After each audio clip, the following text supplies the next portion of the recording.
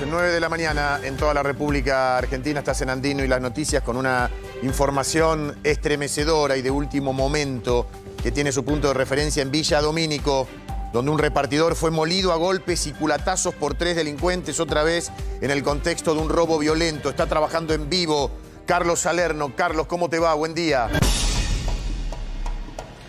Guillermo, buen día. La verdad parece cinematográfico, en realidad lo es. Son cámaras de distintos ángulos. Hay cuatro cámaras distintas, todas con audio. Un joven de 36 años y te voy a dar tres títulos. El primero, una dirección falsa. El segundo, una entrega de teléfonos celulares. Y el tercer título, una emboscada que lamentablemente a los delincuentes les salió bien. ¿Por qué esta historia? Este chico vino de Malvinas Argentinas, acá a Villa Domínico, a la calle San Lorenzo al 1600. Le dieron una dirección falsa, Guillermo, para entregar teléfonos celulares. Claro, cuando el chico toca el timbre de la dirección, no atiende nadie. Se queda esperando y como respuesta, si querés vemos el video y escuchamos el audio, la desesperación, porque se da la emboscada, lo corren, lo golpean y le rompen la cabeza a culatazos. Si querés ver el video con el Vamos. audio y te cuento más detalles. Vamos a escucharlo y a verlo.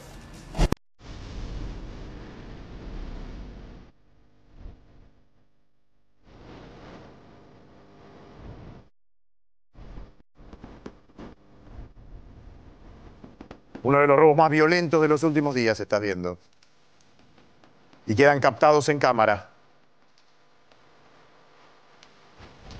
El repartidor atacado, observen ustedes, cae en la trampa, culatazos por parte de los tres delincuentes, impresionante el castigo que le propinan. Inexistencia de patrullas municipales en la zona, por lo menos en ese momento. Y el ataque, largo, violento, impresionante. Ahora sí, el audio que lo dice todo.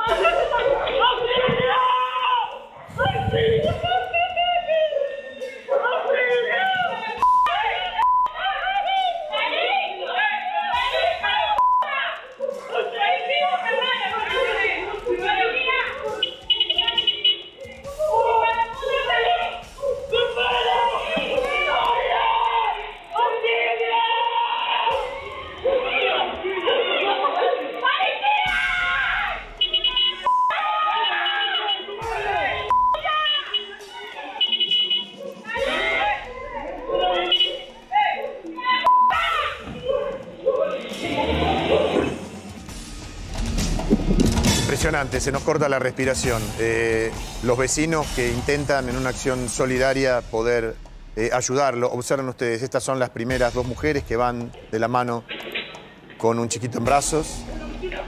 Primero se corren, se lo ven venir todo. Desde la vereda de enfrente observamos como este repartidor, reiteramos, si te estás sumando, estás viendo uno de los ataques más violentos de los últimos días. La víctima es un repartidor que lleva teléfonos y que es molido literalmente a golpes, a culatazos, por estos tres delincuentes, estos tres pibes chorros, que no, no cejan en su objetivo de querer sacarle el, el botín.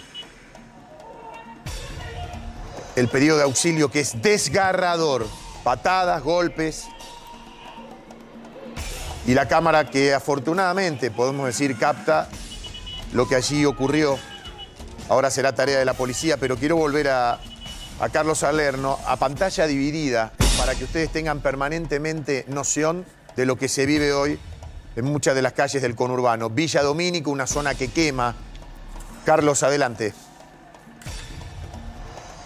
Acá en este, en este recinto, digamos, este lugar chiquitito con pasto que hay, lo movieron a palo, se llevaron los teléfonos. Pero mira, vamos a cruzar porque hay justo un vecino que nos está esperando. Eh, estamos a metro de la falsa dirección. Esto se da mucho, lamentablemente, esta modalidad por Marketplace. Cuando te, te compran, te hacen una, una compra falsa, te simulan una compra, Guillermo, te dan una dirección que también es falsa. Y cuando vos llegaste a hacer la transacción, lamentablemente te encontrás con esto. Bueno, vamos a hablar con un vecino que, pudo asistir. Buen día, estamos trabajando en vivo. ¿Cómo andas? Gracias por, recibirnos.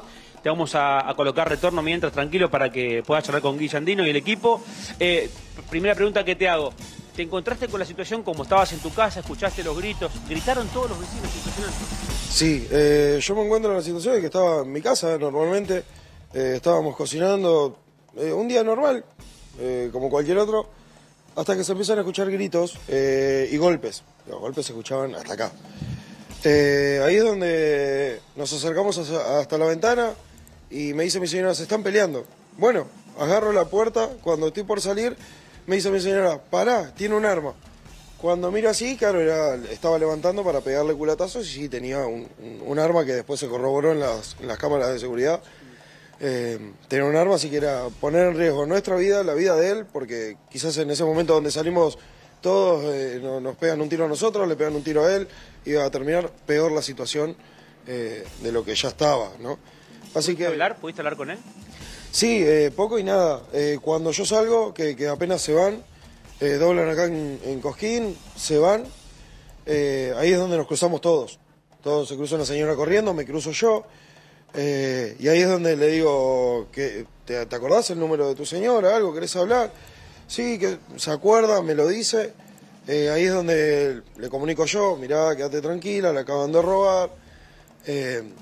y bueno, entre todo ese caos eh, le pudo dar él un poco de tranquilidad a, su mujer diciéndole que estaba bien y que, bueno, que no había pasado más que los golpes. Le partieron la cabeza a culatazos, ¿no? Sí, sí, un desastre. Eh, eso fue un desastre porque cuando nos cruzamos nos encontramos con, con él que, estaba todo golpeado, eh, la cabeza le, chorreaba sangre. una patrulla de acá de, de, Avellaneda frenó, lo, lo asistieron con lo que ellos sabían porque uno por ahí dice, eh, ¿por qué no le hiciste tal cosa? Pero en el momento no se te ocurre nada porque es como que lo tenés al tipo ahí, le estás sangrando la cabeza y no, no sabes qué hacer. Recordame tu nombre. Facundo. Eh, Facundo te escucha, Guille, te cuento solo un dato. Sabés que acá los vecinos le guardaron la moto al repartidor. Se la guardaron porque él tuvo que irse en la patrulla al, hospital. Te escucha Facundo, Qué bien, gracias, Carlos. Hola, Facundo, ¿cómo te va? Eh, a, qué hora, a, qué hora, fue? Más o menos, ¿te acordás? Decías que estaban cocinando. Fue al mediodía, alrededor de entre la una y media a dos de la tarde. Claro, se me ocurría pensar, ¿no? Menos mal que tu mujer, como vos relatabas, vio que tenían un arma. Si no, vos te mandabas a auxiliarlo, por lo menos a ver qué pasaba. Es que claro, después al hablar con el vecino de, acá al lado de mi casa, eh, me dijo lo mismo. Yo iba a salir, pero cuando vi que tenían un, chumbo, no, no decidimos no salir porque era poner en riesgo, como digo, nuestra vida, la vida de él. Eh, uno nunca sabe en el momento cómo pueden reaccionar y capaz le, pegan un tiro a él también. Obviamente, a él y a vos. Decime una cosa, eh, en algún momento dispararon al aire, porque vemos que uno cuando se va, cuando ya estaba todo resuelto, o sea que lo habían molido a golpes, vuelve y da la sensación que le pega un tiro, pero, pero no, ¿lo amenaza o escuchaste un tiro? No, no, en ningún momento se escuchó ningún tiro, no, no dispararon en ningún momento. Eh, sí escuché en ese mismo momento, entre los murmullos, de, obviamente cuando estaba el hombre ahí y todo, algo de un cartucho. Eh, pero nosotros no hemos, encontrado ningún cartucho, si no te diría, había un cartucho vacío o algo, pero no, no hubo ni disparos, no hubo nada.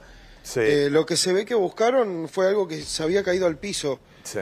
Eh, porque ellos antes de subir al auto buscan algo. Puede ser eh, parte del botín, ¿no? Ahora lo que nos, conmueve y mucho, más allá de las imágenes, de los culatazos, es el grito, los gritos desgarradores de este, de este pibe. ¿Cuántos años tendría este repartidor? Y alrededor de unos... 36. Ahí está, viste, yo te iba a decir entre 30 y 40. Sí. Eh, no, era impresionante. ya como digo, por todos lados, ¿no? es impresionante escucharlo en las cámaras, pero peor es escucharlo en, el momento. Eh, en persona. Sí. Facundo, em, es, mucha impunidad la que estamos viendo, ¿no? Eh, dos de la tarde, cara descubierta, no les importa absolutamente nada.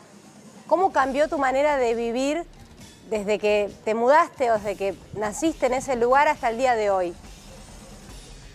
Y la verdad que ahora con mucho miedo. Eh, ayer eh, tuve que hacer compras, obviamente, como cualquier día normal, y, y sí, salís con un miedo bastante grande. Eh, ya no, no, no está la tranquilidad, ¿viste? Más al, ver todo eso, uno dice, y, si dejo el celular en mi casa y por ahí me golpean igual porque no tengo el celular y porque, ¿viste? Es como que ya no sabes de qué manera accionar. Eh, es eh, increíble, Facundo, que tengamos que pensar que hay, algo hay que llevar para darle a, a estos tipos, a esta basura que anda dando vueltas. Veo que hay una avenida de tránsito ahí casi a media cuadra, cerca de donde vos estás. Digo, ¿tienen sospechas de dónde son estos, estos delincuentes que estaban dispuestos a todo? La verdad que no. Eh, se, vio poco de las caras en las cámaras, pero no, no, hay, no hay alta definición como para decir, bueno, se pueden reconocer o algo. Eh, así que hasta el momento no se sabe nada, ni si son de acá o... Sé que ha sucedido ya varias veces esto de, una entrega acá, eh, ha sucedido con un auto. Ah, ¿de que dan la dirección de, una falsa entrega de, Marketplace? Ah, mira, a ver, contanos eso, Facundo. Ha sucedido, ha sucedido acá justamente en el garage de, nuestro vecino. Ha sucedido que han querido venir como a entregar un auto y se lo han robado en el mismo momento, todo acá, también a plena luz del día. Eh, o sea, no, no es la primera vez que sucede algo así de las entregas, también en, esa esquina, de este lado también, o sea... Eh, ¿Y por qué crees, a ver, Facundo, vos que sos de la zona, ¿por qué crees que justo eligen esa cuadra, eh, ese tramo? Porque Dios no lo quiera, pero también un día pueden dar la, dirección de tu casa. siempre pasa ahí, estás diciendo. Y uno, eh, no, no, sabría decirte el por qué se elige esta, esta cuadra, porque para colmo estamos pegados a una avenida, quizás puede ser ese el motivo. Claro. Eh, estamos, estamos cerca de la avenida, listo, eh, o quizás porque tenemos esta calle cortita que es el, pasaje Cosquín. no, sabría, no sabría decirte el por qué lo eligen. Sí sé que hace una semana a mi señora la llamaron dos veces por una venta que nosotros nunca habíamos publicado. Claro, por eso te digo. Quizás sí, puede ser que esté sucediendo esas cosas de dar números falsos, de dar direcciones falsas. Este, hay, que, hay, que, tener mucho cuidado. No, tal cual, sí. El auto este, tenía pedido de secuestro activo desde hace 13 días. Hace 13, 13 días, dando vueltas. Dando vueltas, seguramente lo habían robado en la zona de la jurisdicción de Lomas. Eh, esto termina pasando en, en Avellaneda. Eh, eh, pudieron estar robando por, todos, por todo el sur del conurbano durante 13 días sin ningún tipo de alerta de las autoridades. Apareció abandonado a tres cuadras del lugar. Eh, en sí, lo que me imagino, y le pregunto también al vecino, eh, gritos, cámaras de seguridad, supongamos que tendrían una alarma vecinal también. No hay nada que se pueda hacer en el barrio para evitar que pasen estas cosas, ¿no? Y la verdad que no, no, como te digo, más que brindarle una ayuda, no, no, no podemos hacer mucho. ¿viste? Y también uno eh, yo hablo por mí, ¿no? Eh, creo que cualquiera también tendría el miedo de, si lo ayudo y si me pegan un tiro y algo y, tenemos familia. Es, es, un tema también, viste, ayudar en estos casos. Eh, lo único que verdaderamente, como les digo, y, con una mano en el corazón, lo único que nos quedó era esperar a que, a que termine y, asistirlo. Sí, claro. Facundo, podríamos, mira, yo más veo las imágenes, más creo que se salvó de milagro porque hoy eh, no tienen piedad. Si te resiste... Ahí en ese momento de resistencia ya podía haber venido el tiro. increíblemente esto no pasó. Sin intención de estigmatizar, ¿hay algún tipo de barrio o de construcción que para el escape pueda favorecer a algún delincuente? Es decir, que ellos puedan ingresar, abandonar el auto robado, ingresar y que a la policía se le haga mucho más difícil? Mm, no, no porque, como te digo, estamos muy pegados a la avenida, tenemos otra avenida atrás, eh, entonces no, no hay mucho. Eh, por ahí sí, a ver, si nos ponemos a buscar en el mapa o algo, sí, quizás tienen para meterse para adentro, pero eh, no, no creo. No, ¿Cuál, es la calle donde están? No sé, me... Facundo, ¿cuál es la calle? Digo, para ver que estamos en, la policía San Lorenzo. Reaccione. San Lorenzo. La calle San Lorenzo. San Lorenzo, entre Cosquín y Cangallo. Y el auto parece abandonado dos cuadras, de la Serna y Pedernera, a una cuadra del cementerio de Avellaneda. Evidentemente, para abandonar el auto tendrían otra vía de escape por lo que se entiende. otro auto robado. Otro auto robado o alguien más, un quinto delincuente este, que estaba oficiando de campana para levantarlos y huir. Por eso se está evaluando con estas cámaras, más las cámaras de la zona, para dónde pudieron haber escapado. Sí, no, la verdad que eh, un desastre, un desastre esto de las ventas falsas y, que justo pasen en, esta cuadra. Eh, es, es eh, Es horrible y bueno, después ningún ser humano se merece lo que... No, lo que desde luego, mira, Este, este muchacho. me diste el pie, Facundo. Estamos recibiendo a nuestro Instagram, arroba andino en las noticias, eh, un montón de información de gente que vive por allí, que dice que está cansada, que a dos cuadras, tres cuadras. Para los que recién se suman, por favor, diré, poneme a pleno, con audio, lo que sufrió este chico que acá todos creemos que está vivo de milagro y que, no le dispararon. Vaya a saber por qué, porque hoy si te resististe matan. Dale, vamos, esto pasó, ¿eh? En Villa Domínico, ponelo a pleno. Dos mujeres caminando con una chiquita, vienen los delincuentes. Era la trampa establecida. Se van a bajar desde la esquina y empiezan a correr. Escuchen.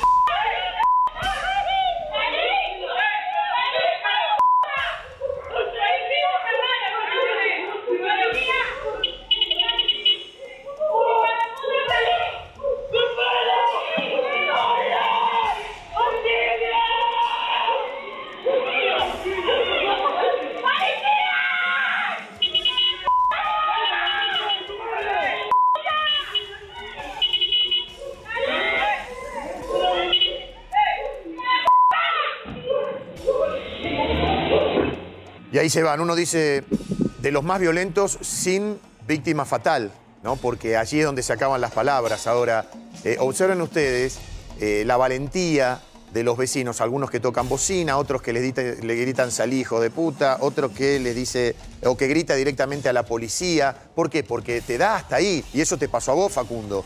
Cuando vos ves o tu mujer ve que están armados, ya no podés intervenir. No es una pelea donde vas a separar. ¿no? Por eso digo, un llamado a, la policía del lugar para prestar más atención en un escenario donde evidentemente para estos delincuentes, porque vos me decís que hay antecedentes también de estas compras-ventas truchas, es una zona liberada y fácil, Facundo. Eh, sí, parte de los, gritos e insultos son de, mi mujer y míos, que era lo, máximo que podíamos hacer eh, al, al momento de ver que tenían un arma en la mano. O sea, no, no más que eso, que todos los vecinos gritaron, eh, no, no podíamos hacer. Era como, bueno, vamos a gritar eh, para que, no sé, se vayan, lo dejen, lo suelten, algo. Y, y- y nada, nada. O sea, siguieron dándole, eh, no, no, no importó nada. No, y- es- Pero sí, Te, no, te quería decir Sí. que estamos hablando de situaciones totalmente antinaturales, ¿no? Estar pensando qué me llevo para ir al supermercado para darle a los chorros en caso de que me roben, escuchar a un hombre que pide auxilio y no poder asistirlo. ¿En algún momento pensaste en, mudarte, en buscar algo mejor, a sabiendas de que esto claramente no está mejorando? La verdad que sí. Eh, la verdad que sí, fue una idea que, surgió eh, el día de ayer, ya con la familia, eh, de, disparar de acá, porque ya, como digo, no es la primera vez que sucede. Robos comunes también suceden. O sea que este, este caso es uno brutal, pero robos comunes también suceden. Ayer contaban que hacía tres, tres días habían robado también, entonces es como que ya uno dice, no, yo, ¿qué, qué hago acá? ¿Entendés? Con lo que eso implica, Facundo, también, porque no es algo económico, también imagino que estar a donde estás te costó, es trabajo, no sé si tenés hijos, pero eh, es una decisión difícil de tomar. Y la verdad que sí, la verdad que sí. El- el- no- para nadie es, es fácil cambiar de, de lugar y de, de locación, eh, así como si nada, pero también, bueno, la, la inseguridad lo así lo pide, ¿no? Porque uno, no, como te digo, yo voy a comprar y voy a comprar sin, sin celular, sin nada, o sea, llevo lo justo. Eh, y cuando ando con el celular me da miedo y lo meto en, en las camperas, viste, que tienen bolsillo adentro, lo meto ahí y tampoco sabes, porque también son los lugares donde eh, van a ir a buscar, quizás. Entonces, viste, y uno dice, capaz, a veces por un celular, eh, prefiero no tener eh, quizás el mejor celular o el último, porque no sabes, capaz que te ponen No, un tiro seguro. por Te pasa, lo celular. mismo pero- con, te pasa lo mismo con el auto, te pasa lo mismo con, con todo lo que Es te puede verdad, robar. es verdad, Angie, pero en el contexto de lo que estamos hablando, eh, eh, Facundo, digo, uno se encariña, estás acerenciado al lugar, te gusta, supongo que te gusta vivir allí, no sé, tus viejos, eh, ¿viene de tus viejos, de tus abuelos o vos sos la primera generación que vive en esta zona de Domínico? Que se la ve linda, casa, barrio. No, viene por la familia de mi mujer, que yo estoy viviendo acá. Mi, mi familia es de San Miguel, eh, o sea, un cambio bastante brusco. Eh, y eh, ahí es donde empecé a conocer lo que era Avellaneda. Eh, pero bueno, a ver, como, como te digo, no, no es una decisión fácil y, No, claro. y- y complica un poco las cosas. Porque, a ver, ¿a dónde te vas? ¿Qué Pero- Decime cuál es el- la, la panacea de la, Ah, ¿cuál es el de la inseguridad. Sí, en todos lados. Ni siquiera en un barrio cerrado. O sea, hoy no hay, como decimos siempre, no hay periferia, no hay horario marginal. Me decís que estabas cocinando, tu mujer estaba cocinando, estaba- era el mediodía. No es que estamos viendo imágenes de madrugada donde no se detecta la... No, Este, eh, o sea, se atreven... No, no, fíjate, sea, además... a plena luz del día, Pero fíjate la confianza que se tiene en estos chorros, que los citan al mediodía, porque esto es por cita, ¿no? Dijiste Claro, que fue a través de la, claro, la- tenés la que plataforma. el horario. No dicen 10 de la noche, ponele. Viste que en la oscuridad, Porque ahí harían sospechar a la persona que está entregando Probablemente, el claro, producto. Pero vos verdad. fíjate que a cara descubierta, no Sí. tienen nin- o sea, la impunidad que manejan es increíble. Claro, en ese sentido, en la que la que tenemos cara que saber somos nosotros. eh, estaba hablando con la Fiscalía 3 que interviene, no hay detenidos. Eh, ¿Cuál sería la pena que, porque acá es un robo con lesiones, eh, robo con lesiones. Después, en el momento del proceso judicial, suponiendo que estén detenidos, eh, las lesiones se morigeran con el robo y se incluye todo en una misma pena. Eh, n- presumiblemente podría llegar a ser un delito excarcelable, porque Sí. el hombre no murió, no es un Si homicidio. tuviera antecedentes también, ah, Obviamente eso suma. Obviamente, esta gente tiene antecedentes. Olvídate. Evidentemente tiene antecedentes. Están intentando ahora a través de las pericias dactiloscópicas que se levantaron del auto, intentar eh, dar por lo menos con el conductor del vehículo para ahí dar con el resto de la banda. te digo, Germán, si te pones a averiguar en el día, probablemente te encontrás un raíz. 16 13 días con el mismo auto robado, lo que habrán hecho. y este robo porque quedó grabado, porque hay una secuencia cinematográfica por la cantidad de cámaras que tenemos, por los gritos. Pero robos así, entre 4 y 5 fácil, Pero para desde hacerse luego, con un botín eh, de a mí lo que me, 10 me- celulares. lo que me 20. vuelve, lo que me vuelve loca es cómo los argentinos de bien tienen que empezar a naturalizar cosas que no están bien. Porque estábamos hablando recién de no llevar un celular de alta gama, de tener un auto... Un celular de señuelo Sí, sí, un celular de señuelo. Pero vos fíjate otra cosa, empiezan a caminar por la vereda. Cuando vemos este tipo de videos, y ahora le voy a preguntar a Facundo por qué, la gente camina por la vereda. Claro. A ver, eh, Por Carlos. la calle, perdón, no por Sí, la, Sí, la sí, familia sí, está sí. caminando por la calle. la calle. En una eso es muy del conurbano profundo, ¿viste? Cuando no hay veredas. Sí. En este caso tenés veredas. Sí, sí, sí. Pero la gente camina por la calle porque tiene esa creencia de que si le roban, pueden correr o los van a ver y evitan el robo. Eh, es algo que sí, está naturalizado ya y vivimos con una tensión absoluta. Tal cual. Carlos, llegaron a, a robarle los, los- Estaba, eh, re- supuestamente iba a vender teléfonos, ¿no? Sí. Sí, sí, habían hecho el, el encargo supuestamente de teléfonos, le roban el suyo y le roban otros teléfonos. Claro. Hoy a la madrugada detuvieron a una persona, le secuestraron teléfonos también, nueve, pero el tema es que como este joven no quiso hacer la denuncia, Claro. no quiso denunciar, vinimos hasta casa porque está la moto de él, acá, a ver si podemos mostrarla, A ver. Eh, no quiso hacer la denuncia, la la policía lo que me dijo es, mirá, tenemos un detenido, le secuestramos nueve teléfonos, de hecho yo pasé la foto por ahí, inclusive hay una particularidad en esa foto, una particularidad muy interesante, que hay bols- bolsas de papas fritas y hay papel eh, de aluminio, que sirven como bloqueadores de señal, se usan, se llama caja de Faraday en el, en el- en el lenguaje, digamos, en el término, porque lo que hace es, vos apagás el teléfono, lo metés ahí adentro en la bolsa de viendo, mirá. y por más que busques buscar el teléfono, no lo encontrás. A ver si podemos acá. Porque esta es la vecina que cruza rápido y sabés que ella misma le dice al joven: quédate tranquilo, yo te guardo la moto en mi casa y cuando vos te recuperes, el chico está internado. Cuando vos te recuperes de los golpes, porque tenía la cabeza rota, venís a buscarla. Y todavía no vino a buscarla. A ver si nos atiende la señora que vive acá, ¿Sabes por qué no habrá querido hacer la denuncia, no? que recién la habíamos visto que había aparecido, por eso nos movimos. A la vieja usanza, claro, ¿no? no hizo la denuncia, eso Ahí. lo. La policía lo fue a ver a este chico. Y es Marketplace. Yo te cuento, no, no estaba bueno ser ref- autorreferencial, Bien. pero hace unos días Sí, me bueno. robaron el teléfono y el teléfono apareció 10 días después en Marketplace. Claro. El mío. Yo sabía que era el mío. ¿Qué iba a hacer? Me Claro, recomendaron no hacer nada. ¿Qué voy a ir? ¿Con la policía para que haya un tiroteo por un teléfono? Marketplace es un refugio de delincuentes prácticamente. A ver, Carlos, yo te decía, la vieja usanza, estás aplaudiendo a ver si sale el vecino. Bueno, no, no, no, O la nos vecina. movíamos- No, está bien. Sí, nos movíamos un poquito porque Sí, creo que la moto, creo que la moto no se ve por la planta, pero está ahí atrás. Ajá. La tienen ahí guardada la moto, Bien que es la la moto de este joven, que la, la moto no se la llevaron, o sea, no estaban Guillermo, Sí. mirá, Esto es un golpe comando. ¿Por qué es un golpe comando? Porque se llevaron, se llevaron al menos cinco teléfonos. Claro. Un teléfono de media gama sale de 500 mil para arriba. Una alta gama sale un millón de pesos para arriba.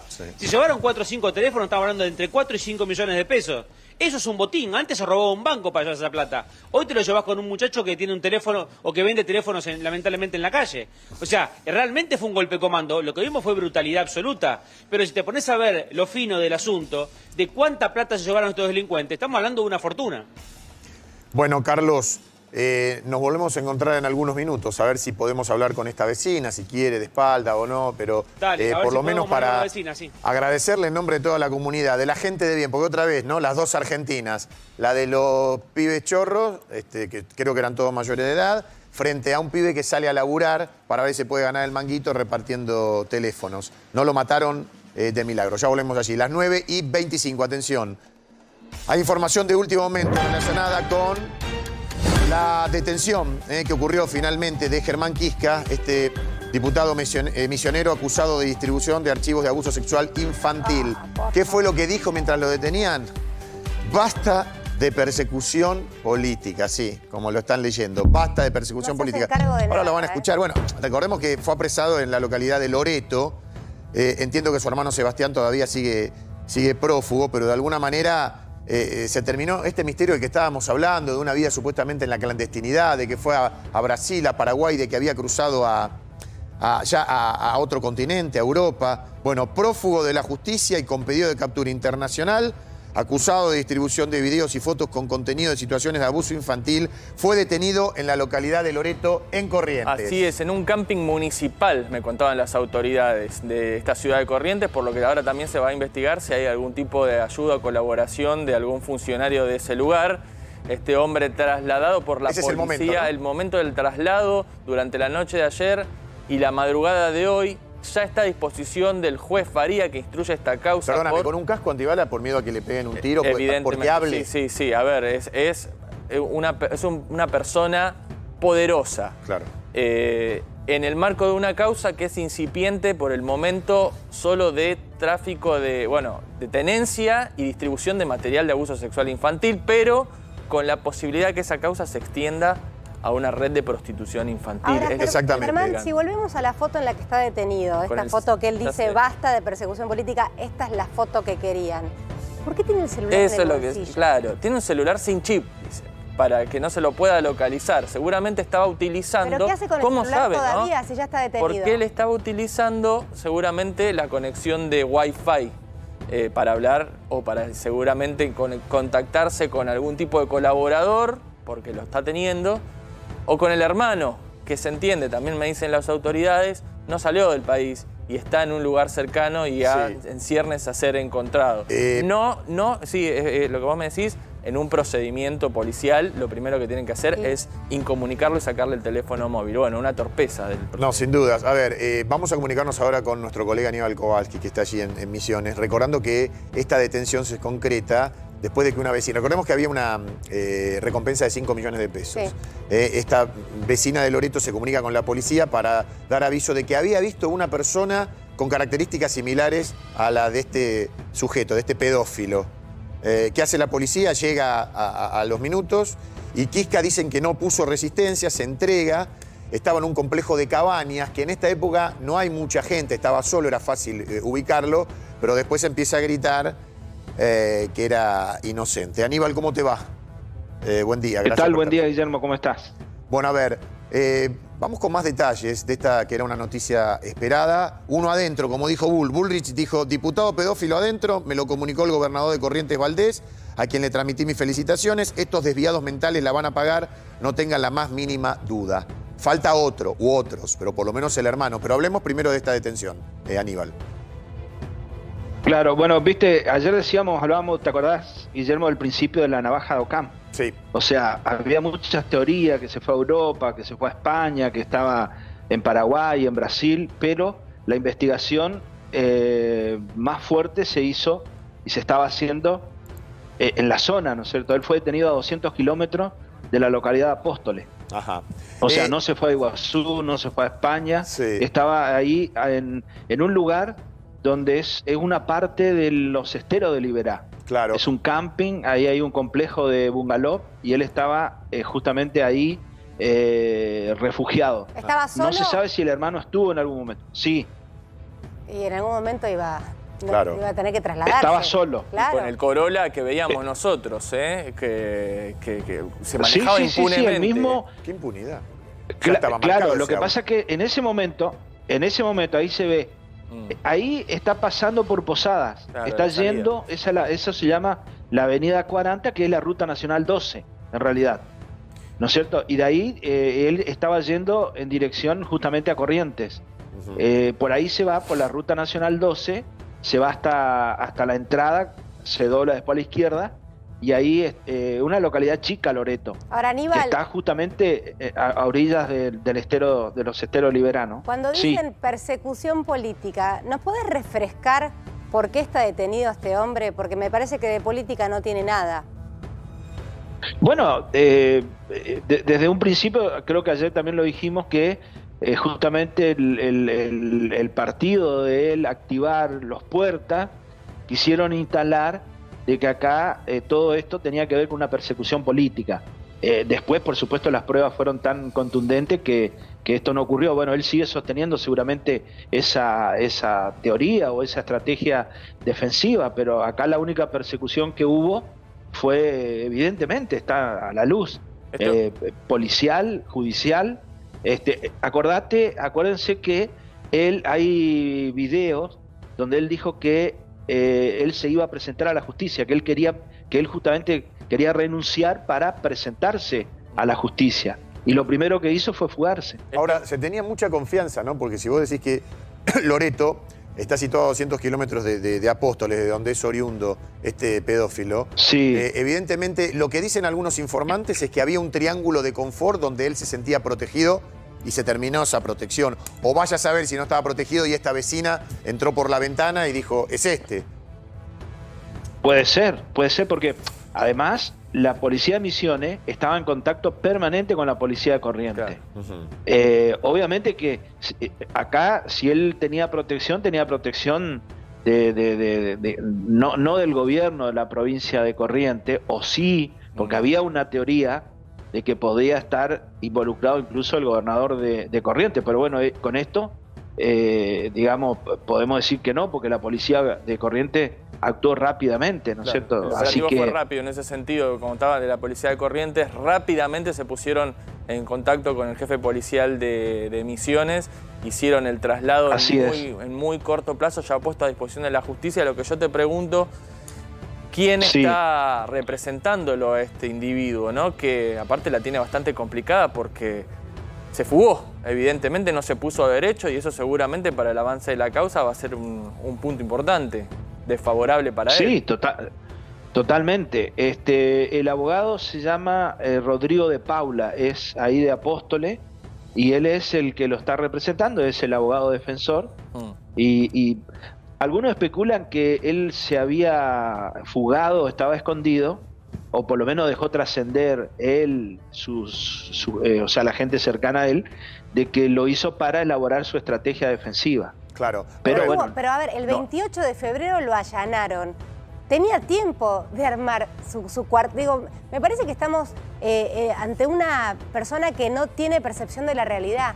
Hace meses que sabe que esta causa avanza en Estados confía Unidos. mucho en su impunidad, claro. Y se va a, a metros de No, donde no, no, no, vive. está bien. Hace meses, hace meses que la- no pensó que iba a lograr, que se iba a quedar sin el respaldo político Claro. que Claro, tiene. pero no se puede manejar ese nivel de impunidad. que empezó Estamos con esa locos. señal que vimos días atrás de un allanamiento en el, el boliche Estudio 55, propiedad de la familia, por parte de la policía, tres días antes de que se avance con el último allanamiento. Ahí ya le soltaron la mano.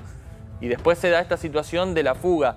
Yo creo que no tuvo, eh, no, no, no, no se dio cuenta realmente que era tan eh, grande la causa que venía de Estados Unidos. Porque así, lo debe tener dar- naturalizado, Germán. Bueno, porque es- lo debe tener naturalizado, porque si el padre tiene un lugar, un aguantadero en el que hay menores de edad, me parece que es algo natural. Pero digo, ¿qué hizo la justicia desde el 28 de febrero a esta parte?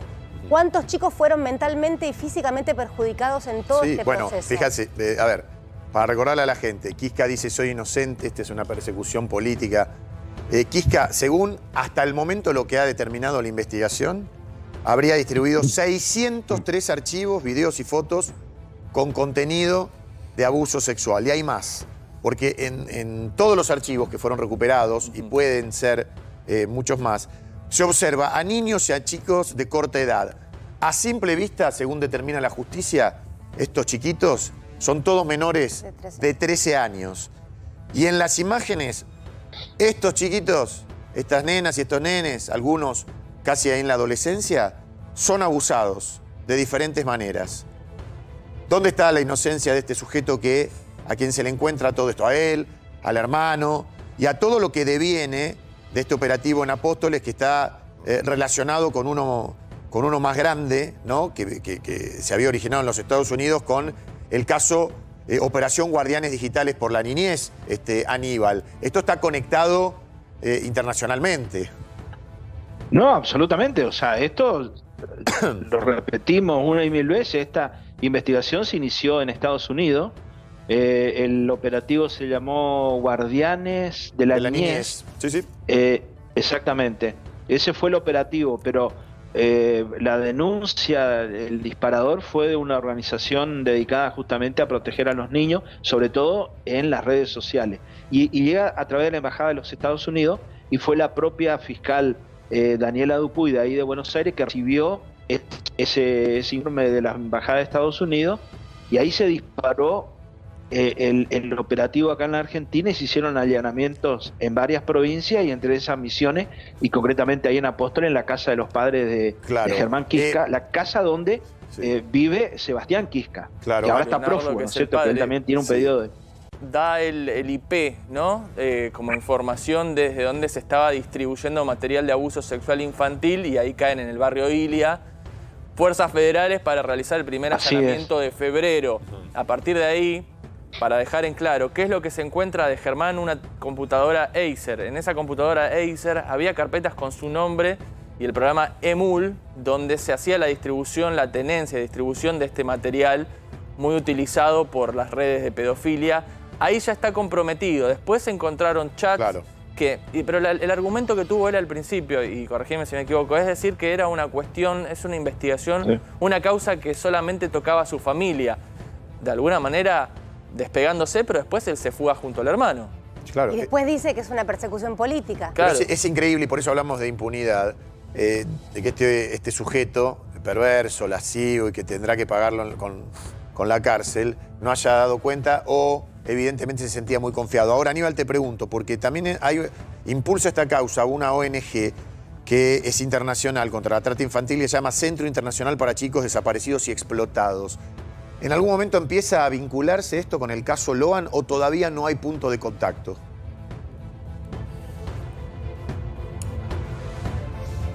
Aníbal.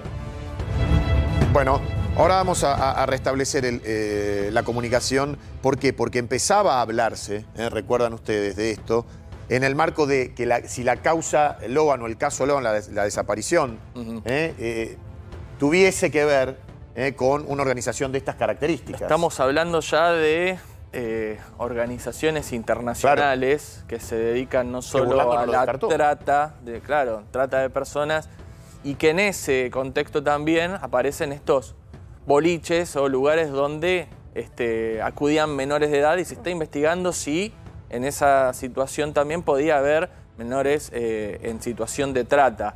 Eh, ahora esta persona aparece en Corrientes, eh, nada más ni nada menos que la provincia envuelta en este escándalo.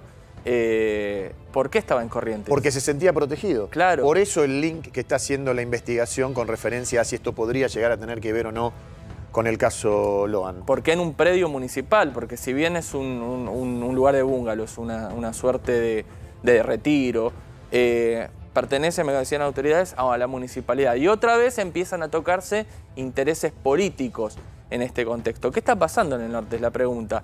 ¿Cómo se puede hilar? Seguramente, acá hay una cuestión. La investigación del caso Loan la está llevando adelante un juzgado federal y esta investigación de, la explotación de menores o de distribución de material abuso sexual infantil por parte de Quisca la está llevando adelante la justicia provincial. A mí me, gustaría saber por qué ningún juzgado federal se pone al frente, porque esto es una causa en la que intervienen fuerzas federales y viene de Estados Unidos, y es donde está, donde se pone en duda ¿quién le dio aviso a Quisca de, que esto se venía? Eh, ¿Alguna suerte de este, topo dentro de la justicia? claro, de las vinculaciones políticas. Me parece que esta causa, por la magnitud que cobró a partir de que los medios nacionales estamos cubriéndolo, va a pasar en breve a, manos de un foro federal. Eh, fíjate que la ministra de Seguridad, Patricia Bullrich, está muy atenta, eh, por supuesto, a esto que está ocurriendo. Por eso quiero repetir lo que, lo que ella eh, tuiteó, ¿no? Puso diputado pedófilo adentro. Me lo comunicó el gobernador de Corrientes, esto por Gustavo Valdés. Un para él también, claro, ¿no? Ponele, a quien le transmití mis felicitaciones por el excelente trabajo. Estos desviados mentales la van a pagar no tengan la más mínima duda. ¿eh? reitero, esto sostuvo la ministra de Seguridad Patricia Bullrich en su cuenta de la red social X, eh, quien además, no solo ella, sino también la investigación, eh, supone o avisora que detrás de Germán Quisca y su hermano Sebastián, todavía prófugo, ¿verdad? Sí, sí. Bueno, hay mucha más gente que no solo intentó esconderlo, sino que además participa de esta organización. Gente como el Clan Puerta, como le llaman. a ver, Hoy se están despegando. Pedro Puerta, su líder político, hijo del ex gobernador y expresidente Ramón Puerta, pero ni bien salió la causa a la luz, eh, le dieron lugar en su medio de comunicación en el Canal 4 para que haga su descargo. Entonces, si es una persona aberrante, si le sorprende la situación, ellos ya tenían en sí el expediente y de lo que se acusaba. Así todo, le dieron lugar en su canal de televisión, en sus medios, para darle una suerte de red de protección eh, mediática. Sí. Hoy por hoy se están, le están soltando la mano. ¿Era por protección hacia él o era por protección hacia él? Para todos, o para todos. Ahí, estamos, ahí, tenemos que cuestionarnos porque la realidad es que el primer impulso que cualquiera tiene, sea un partido político o no, es el repudio absoluto. Con la actuación de la justicia ahora y todas las pruebas que hay, esa pregunta cobra eh, aún más sentido, más volumen. ¿eh? Sí, si no se estaban protegiendo Igual tengo muchas dudas en el sentido de que vos te acordás de la causa Loan cuando empezó eh. y la, llevaba adelante la justicia ordinaria de la provincia de Corrientes. Lo único que fue un pantanal, se sembraron hipótesis vacías, hubo una suerte de protección, por eso interviene la justicia federal. Yo no, no tengo confianza, sinceramente, en que la justicia de apóstoles o provincial pueda avanzar con esta causa habiendo presuntamente atrás una red de, trata de personas. Sí, acá hay pruebas contundentes, hay una red internacional. Por eso ahora restablecemos el contacto con nuestro colega Aníbal Kowalski. Había quedado pendiente la pregunta en cuanto a que si esta causa, la de los Quisca y otros, empieza a relacionarse con la desaparición de Loan. Bueno, la verdad que eh, elementos para, digamos, para afirmar algo así, yo personalmente no lo tengo, creo que acá tampoco. Este, pero bueno, por supuesto no hay que descartar nada, ¿no es cierto? Eh, lo que sí que esta gente, eh, Germán Quisca, su hermano, bueno, y un grupo más que eso va, a avanzar en la investigación ahora a partir de justamente de su detención. Eh, ellos, o sea, no solamente distribuían y, consumían, sino que producían. Este, o sea, utilizaban a los niños para hacer producción pornográfica de los niños, ¿no es cierto? Así que bueno, todo esto se va a saber ahora, eh, porque todavía, acordate que falta el cibercrimen de la Policía de Misiones, falta todavía que entreguen el informe completo. Exactamente. Ahora, ¿el padre de los Quisca dónde está? Eh, el dueño de este... Eh, sí. No, no, el, padre de los Quisca está ahí en, en, en Apóstol, en su casa, él vive ahí con su esposa. ¿Y por qué no fue imputado? Él sigue ahí porque en la casa de él se dio esto, ¿no? Eh, y él es la persona que también regenteaba los boliches, la pizzería. Eh, ¿Por qué no, no avanza? Muy extraño. Eh, ¿Es por la justicia provincial, que es lerda, adrede? Es que él ya en un principio, ni siquiera por la fiscal Dupuy, él quedó este, involucrado en este tema. Mm. ¿Por qué? Porque, digamos, todos los elementos que se secuestraron, eh, computadoras, eh, como es eh, celulares, pendrive, son de Sebastián Quisca y de Germán Quisca. Una de esas computadoras que se secuestraron en la casa de justamente de los padres de Germán Quisca es de Germán Quisca, otra computadora es de Sebastián. Y ahí en esas computadoras se encontraron las, pruebas. Entonces, pero todo este material producido después no, no se llevaba allí a este, a este boliche. No, no, no. El, el, mirá, hasta ahora no hay prueba de que en el boliche se haya trabajado, digamos, porque acordate, el, boliche, en el boliche iban menores de edad, pero Claro. no niños. Porque no se avanzó nunca. No, a ver, eh, claro. Aníbal, hubo un operativo, lo compartíamos días atrás, el 27 de julio en Estudio 55 por parte de la policía de la provincia y lo que dicen Sí. vecinos es que era constante las denuncias al municipio de la presencia de menores y alcohol. Nunca se avanzó en esas contravenciones, eso quedó ahí, juzgados de falta, eh, nunca intervino en todas las denuncias y en ese último operativo, digo, era regular, una cuestión eh, eh, común que haya menores y alcohol en los boliches de los Quisca, o del padre particularmente de Leonardo. Claro, eh, bueno, justamente, finalmente se hizo un allanamiento, se encontraron menores, se cerró, se clausuró y hay causas contravencionales que se están llevando adelante.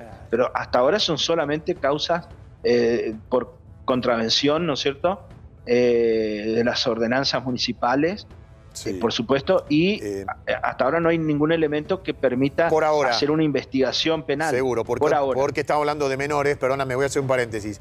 Está nuestro Instagram allí, porque la gente se comunica a arroba Andino y las noticias de todo el país. Cuando hay un caso también que les compete a su propio lugar, están llegando muchas preguntas de gente de Misiones, a quienes les agradecemos, también de Corrientes, así que ahora las vamos a trasladar todas. ¿eh? Le- Pero mi pregunta es, ¿no es el momento de acelerar? Yo entiendo los tiempos de la justicia y también las estrategias, pero acá parece que había toda una organización familiar detrás de esto. No estamos culpando a nadie, estamos viendo que eh, hay, hay dos hermanos que producían todo esto. ¿eh? Bullrich define al detenido como el diputado pedófilo, el padre que tiene un boliche que fue clausurado donde iban menores y tomaban. Digo, si uno acelera, a lo mejor podría encontrar algo más, no lo sé. Ahora, ya está a disposición de la justicia. ¿Dónde está Germán Quisca, el detenido ahora? Él ya está en Apóstoles. Él ya está en Apóstoles, está detenido ahí en, en una comisaría de Apóstoles. Eh, y por supuesto que ya está puesto a disposición de la justicia totalmente. O sea que ahora el, el doctor, el juez Miguel Faría, es el que tiene que determinar en qué momento lo va a indagar. ¿no es Eh? ¿Hay recompensa también de 5 millones por encontrar al hermano o solo era por este? Por Bueno, ahí no quedó muy claro, viste Guillermo, había 5 millones, eh, eh, por un lado, algunos dicen que era para eh, la detención de, Guille- de- de Germán Quisca. Sí. Claro, Por lo mediático Eh, del caso. no se sabe. Claro. Eh, aparentemente, bueno, la persona que, que lo delató eh, podría ya este, cobrar esa, esa recompensa, Aníbal. 5 millones de pesos, ¿no? ¿Cuál era el Sí. estilo de vida de, de estos chicos, estos señores? Porque por lo general cuando uno vende este tipo de material, el pago no es a través de una cuenta bancaria, sino a través de criptomonedas para dejar eh, este crimen sin, sin bancarizar. ¿Cuál era el estilo de vida de esta familia? No, el, el- el estilo de vida era un estilo de vida, digamos, de clase media alta, de los Quisca, no así la de los puertos, por supuesto que son multimillonarios. Este, pero bueno, eh, él eh, en su carrera política al, al lado de Pedro Puerta estaba creciendo también económicamente. Están eh, investigando cuentas bancarias eh, de Germán Quisca, el hermano también de este como es de, de personas allegadas, de los familiares de él. Bueno, eso está en investigación, o sea que eso va a formar parte de un inf- del informe que le van a pasar al juez Faría para que Claro. eh, avance en esta investigación, ¿no? Cal Barronis pidió a la policía que se realicen este, eh, la investigación sobre todas las cuentas bancarias, sobre las billeteras virtuales que puedan llegar a tener, eh, y lo va a indagar en las próximas horas, que me dicen que está en la comisaría 2 ahora resguardado, a la espera de la llegada de su abogado, en el sentido de, a ver, ¿cómo es el crecimiento patrimonial de, de- de la gente de esa, particularmente de, de esta familia, a partir de eh, su llegada a la política o previamente ya tenían una base em, eh, económica por algún tipo de, de proyectos o algún emprendimiento? Creo que se quedó. Ay, bueno, ahora vamos a restablecer el, el contacto. A ver, la historia dice que el, el crecimiento patrimonial empieza a acrecentarse eh, a partir de la vinculación con eh, la política, con los puertas. Exacto. Ahora, eh, habrá que ver cómo, Esto- de qué forma. Claro, claro, ¿no? evidentemente no es una... Uno puede enriquecerse bien o mal. La distribución de material de tenencia, distribución de material de abuso sexual infantil claramente no, no va por el lado de un fin económico, sino por el lado de un goce, de una perversión y de la pertenencia a una eventual Igual se red paga- internacional se paga de pedofilia. Claro, claro, claro, claro. En ese sentido sí. Pero yo creo que se abren dos aristas o más. La investigación por este lado de esta aberración y la, la investigación de la eventualidad de un Claro. enriquecimiento ilícito. ¿no? Exactamente. A ver, eh, decime, eh, Meli, Melina, nuestra productora, eh, eh, cuando tengamos las preguntas, porque hay mucha gente que quiere involucrarse en esto, como pasa con el caso Loan, con el de Alberto Fernández, con todos aquellos que tienen una repercusión y que atraviesan la información en estos últimos días. Vamos a comenzar con eh, Víctor de Luján. Se la traslado a Kowalski, lo charlamos entre todos, eh, cuando lo recuperemos. A ver, eh, la pregunta dice, ¿cómo el registro de las cámaras no lo llevó hacia Corrientes si lo vieron saliendo de Posadas? Claro, sí, sí. No hay controles en la ruta, Víctor de Luján. A ver, el espíritu de esta pregunta es la duda que tiene la gente respecto de eh, la protección que tenían Yo te estos cuento, sujetos. estas imágenes son del 21 del 8, todavía tenía fueros este hombre. Ah. Todavía no había avanzado eh, el caso, por lo menos no había tomado la trascendencia nacional que tiene, si bien ya seguramente dentro de Apóstoles o Misiones el caso ya era conocido, ya habría alguna, alguna reso- resonancia en sí. Eh, esto se reconstruye después. Hay una red de cámaras en la provincia de, de Misiones, como también lo hay en la Ciudad de Buenos Aires y en otros lugares, pero no permiten este, tener un pleno control, una plena reconstrucción de lo que fue la fuga. Podemos decir que fue positivo el resultado de los operativos porque a pocos días ya lo tenemos al- a este presunto pederasta pre- eh, detenido. Falta ahora el hermano, ¿no? Que ¿Esto es no está arreglado? ¿Con quién? Esta entrega. ¿No está arreglada? Bueno, ah, no lo podemos saber. No, no, lo, Eh, lo ver, pregunto porque ¿Qué- me parece Yo creo que- ¿Qué pensás? ¿Qué pensás? Pienso que es todo muy casual, pienso que le permitieron salir de una manera impune, eh, que estuvo muchos días prófugo Sí. y que casualmente cuando ofrecen una recompensa, a los dos días aparece. Yo creo que, mirá la foto, para mí este tipo está derrotado. Para mí este tipo está, no, no logró eh, lo que él creía que Derrotado con un celular en el bolsillo. Claro, pero a veces, está bien, lo- Déjame- obviamente, déjame no. dudar Sí, todo, pero es que- muy buena la pregunta. No estoy Eh, poniendo en telejuicio no, lo que no, no. decís, digo, pero ya no, ya no puedo pensar bien. Pero en el marco de los antecedentes que hay de entregas arregladas con el abogado.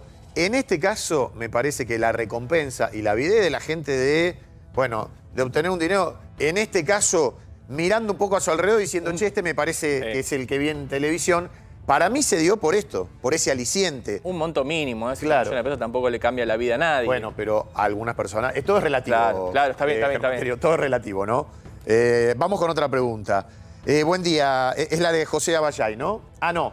De Dani de Paternal. La esposa de Quisca no sabía lo que hacía su marido. Desconozco cómo es la situación eh, marital de esta, cómo es la conformación familiar. No sé si lo sabe. Eh, ¿Lo tenemos de vuelta, Lo que Aníbal? trascendió Avísenme, ¿eh? en base a la última investigación es que la mujer opuso resistencia al último allanamiento en la casa.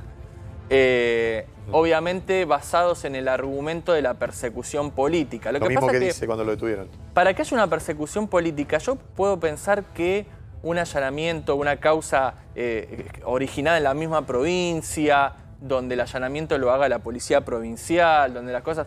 Esto es un allanamiento que parte de una fiscalía de la ciudad de Buenos Aires con un, una alerta internacional. Es la fuerza, son fuerzas de la Policía Federal las que están haciendo el allanamiento.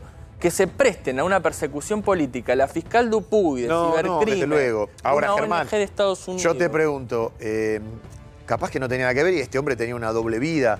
¿Puede eh, esta- esta- estos pedófilos, eh, Germán Quisca, Sebastián Quisca, sobre todo Germán, estamos hablando de, me decís que tiene mujer y tiene una familia, bueno, ¿Tiene hijos? dedicado, Esa- no, no lo sabemos, ahora le vamos a preguntar no. a Kowalski, pero Entiendo que no. un, un sujeto que evidentemente le ponía mucha pasión a todo el tema de la pornografía infantil, bueno, del, de estos contenidos, etcétera, ¿Puede la mujer no saberlo? A lo mejor sí, a lo mejor no. Lo que vemos es que había una vida dedicada, el mago, el tío, eh, la- las grabaciones permanentes y después la producción de contenido. Claro. ¿Vos no ves nunca? ¿Qué, che, ¿qué estás haciendo? ¿Qué son esas fotos del hombre?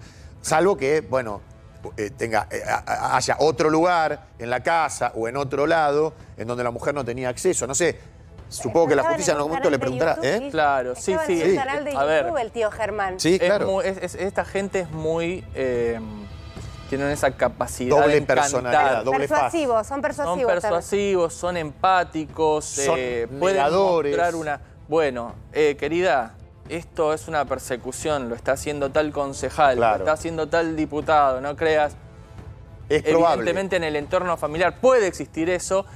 y en, base a eso también es la resistencia que habría opuesto la mujer durante, que, intentó de alguna manera que no se lleven los dispositivos los, policías. Hoy está viviendo otra realidad. Aníbal, te, estábamos preguntando sobre la conformación familiar de, de, Quisca, cómo era, cómo era su vida en el día a día, de este que era alguien, este sujeto que pertenecía a la política, ¿no?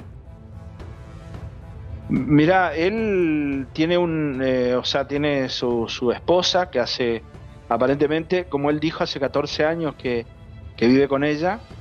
Eh, y después, bueno, el día a día él, él prácticamente pasaba este, la mayor cantidad del tiempo del día con, con Pedro Puerta, porque él trabajaba o trabaja, no sé cuál es la situación ahora, en una en la cigarrera de los Puertas ahí en Apóstoles. Eh, y además todo el tiempo estaban juntos trabajando en, política, bueno, y después las versiones de la fiesta que hacían de, noche, que hay, hay pruebas, hay fotos, inclusive eso está agregado al expediente. Eh, bueno, son jóvenes, obviamente, ¿no? Este, por ahí no, es que uno quiera, digamos, penalizar la fiesta de los jóvenes, pero... No, no, no, desde luego. Eh, pero hay que ver después qué tipo de fiesta. Si hay menores, si hay alcohol, ¿no? Por eh, supuesto. Si hay imágenes que se pasan lupeadas de eh, abusos infantiles, etcétera. Ahora, eh, desde el punto de vista de la política, ¿se le conoce algún proyecto, algo a, este hombre? No. hay, hay proyectos que presentaron como, como activar, digamos, como el, partido al cual él, representa. Él es del partido Activar acordate que eh, ese partido formó parte de la alianza con este, Cambiemos sí. Eh, en su momento y, bueno, él accedió a la, banca este, de esa manera, ¿no? Ya lo eh, o sea, los, proyectos... Claro, Igual un partido que queda ya marcado nacionalmente, ¿no? queda muy afectado en sí la imagen de... Teniendo en cuenta que Puerta, Pedro, es dudoso que no sepa de, esta situación. Sí, eso es lo que, lo que por, supuesto la, son las preguntas que se hace la gente en general y también, por supuesto, la justicia. O sea, hasta dónde Pedro Puerta no sabía de esta, de esta situación, teniendo en cuenta la relación de intimidad. Yo tenía un programa de radio, eh, Pedro Puerta conducía un programa de radio en su radio, porque es, es su propia radio, ¿no es cierto? Social Club ahí en Apóstoles. Y este, permanentemente estaba Germán Quisca, le hacía eh, reportajes, justamente ahí entre esos reportajes que le hizo una vez, eh, fue donde Pedro Puerta dijo que él tenía un estimulante especial para eh, doblegar la voluntad de, las chicas o de los chicos. No, sí, impresionante. A ver, Aníbal, volvemos a la pregunta que trasladábamos ahora, de la, de la mujer de Quisca, que probablemente, a lo mejor no, no, desconocía a Pedro Puerta. Estando tan juntos, por lo que vos estás diciendo, ¿no? O insinuando, Pedro Puerta no podía desconocer esta actividad de, de, Quisca. Y por supuesto, eso es, eh, o sea, cuesta entender que no. Eh, además de la forma en que él salió, eh, te estoy hablando de la semana pasada, ¿no? Ya, ya ah, después del 28 de febrero, la forma en que salió a tratar de despegarse de Germán Quisca generó una repulsión en la gente también. Sobre todo en la gente que conoce, o sea, a lo mejor a nivel nacional él puede dar una imagen o decir una cosa, pero distinto acá en Misiones y sobre todo en Apóstoles, donde eh, sabían que era una relación de casi hermano, de estar juntos todo el tiempo, pasar el día prácticamente juntos. Me cuentan que cuando le ingresaban a la, comisaría 2 ahí Apóstoles, un periodista le preguntó si era está relacionado a la red de pedofilia y le contestó no seas tarado. No sé si pudiste confirmar eso, te llegó esa info. Sí, sí, está confirmado. Incluso él dijo, eh, basta la persecución política, o sea... pero insultar al periodista, eh, no seas tarado, que esa, esa relación de, cercanía hay también con el periodismo local, como para que le conteste de esa forma. No, evidentemente está, está desaforado, está por supuesto en una situación crítica, no, no habrá pensado nunca que se lo iba a detener, es probable que él estaba esperando ahí eh, el momento y la oportunidad para salir y trasladarse a otro lugar. Claro. Cuando hablo, Eh, el mo- eh, eh, ahí donde lo encontraron en Loreto, ¿no? Eh, Sí. esto- eh, di- di- las investigaciones eh, a- apuntan a eso, o sea, no tampoco hay que descartar que él estaba esperando para salir de, de- de la Argentina, ¿no? Sí, mira, Pero, Aníbal. este, Sí. Sí. No, no quiero comprometerte a vos con este eh, mensaje. No lo pongas al aire porque me pide que esta mujer que no la mencione. Pero es una muestra de muchos mensajes que nos están llegando. Dice, buen día, señor Andino. Usted no sabe lo que es misiones. Impunidad total. Nunca vi tantos delitos naturalizados juntos y la política un desastre. Aquí nada se arregla, todo se suaviza y se olvida.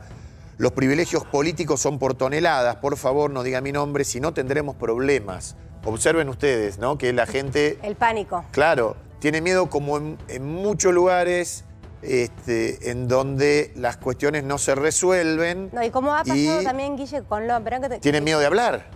esta, esta suerte de feudo. ¿no? Claro. Hay algunas provincias que todavía se manejan como feudos. El que es superpoderoso, donde la mujer no pregunta dónde fue, no pregunta si volvió, hay cosas que mejor no decir. Y Aníbal, en esto me, me- me vas a acompañar vos, digo, lo que decían los puertas se hacía y no se cuestionaba. Digo, es la primera vez que No. creo que en Misiones se da la posibilidad también de empezar a cuestionar al poder.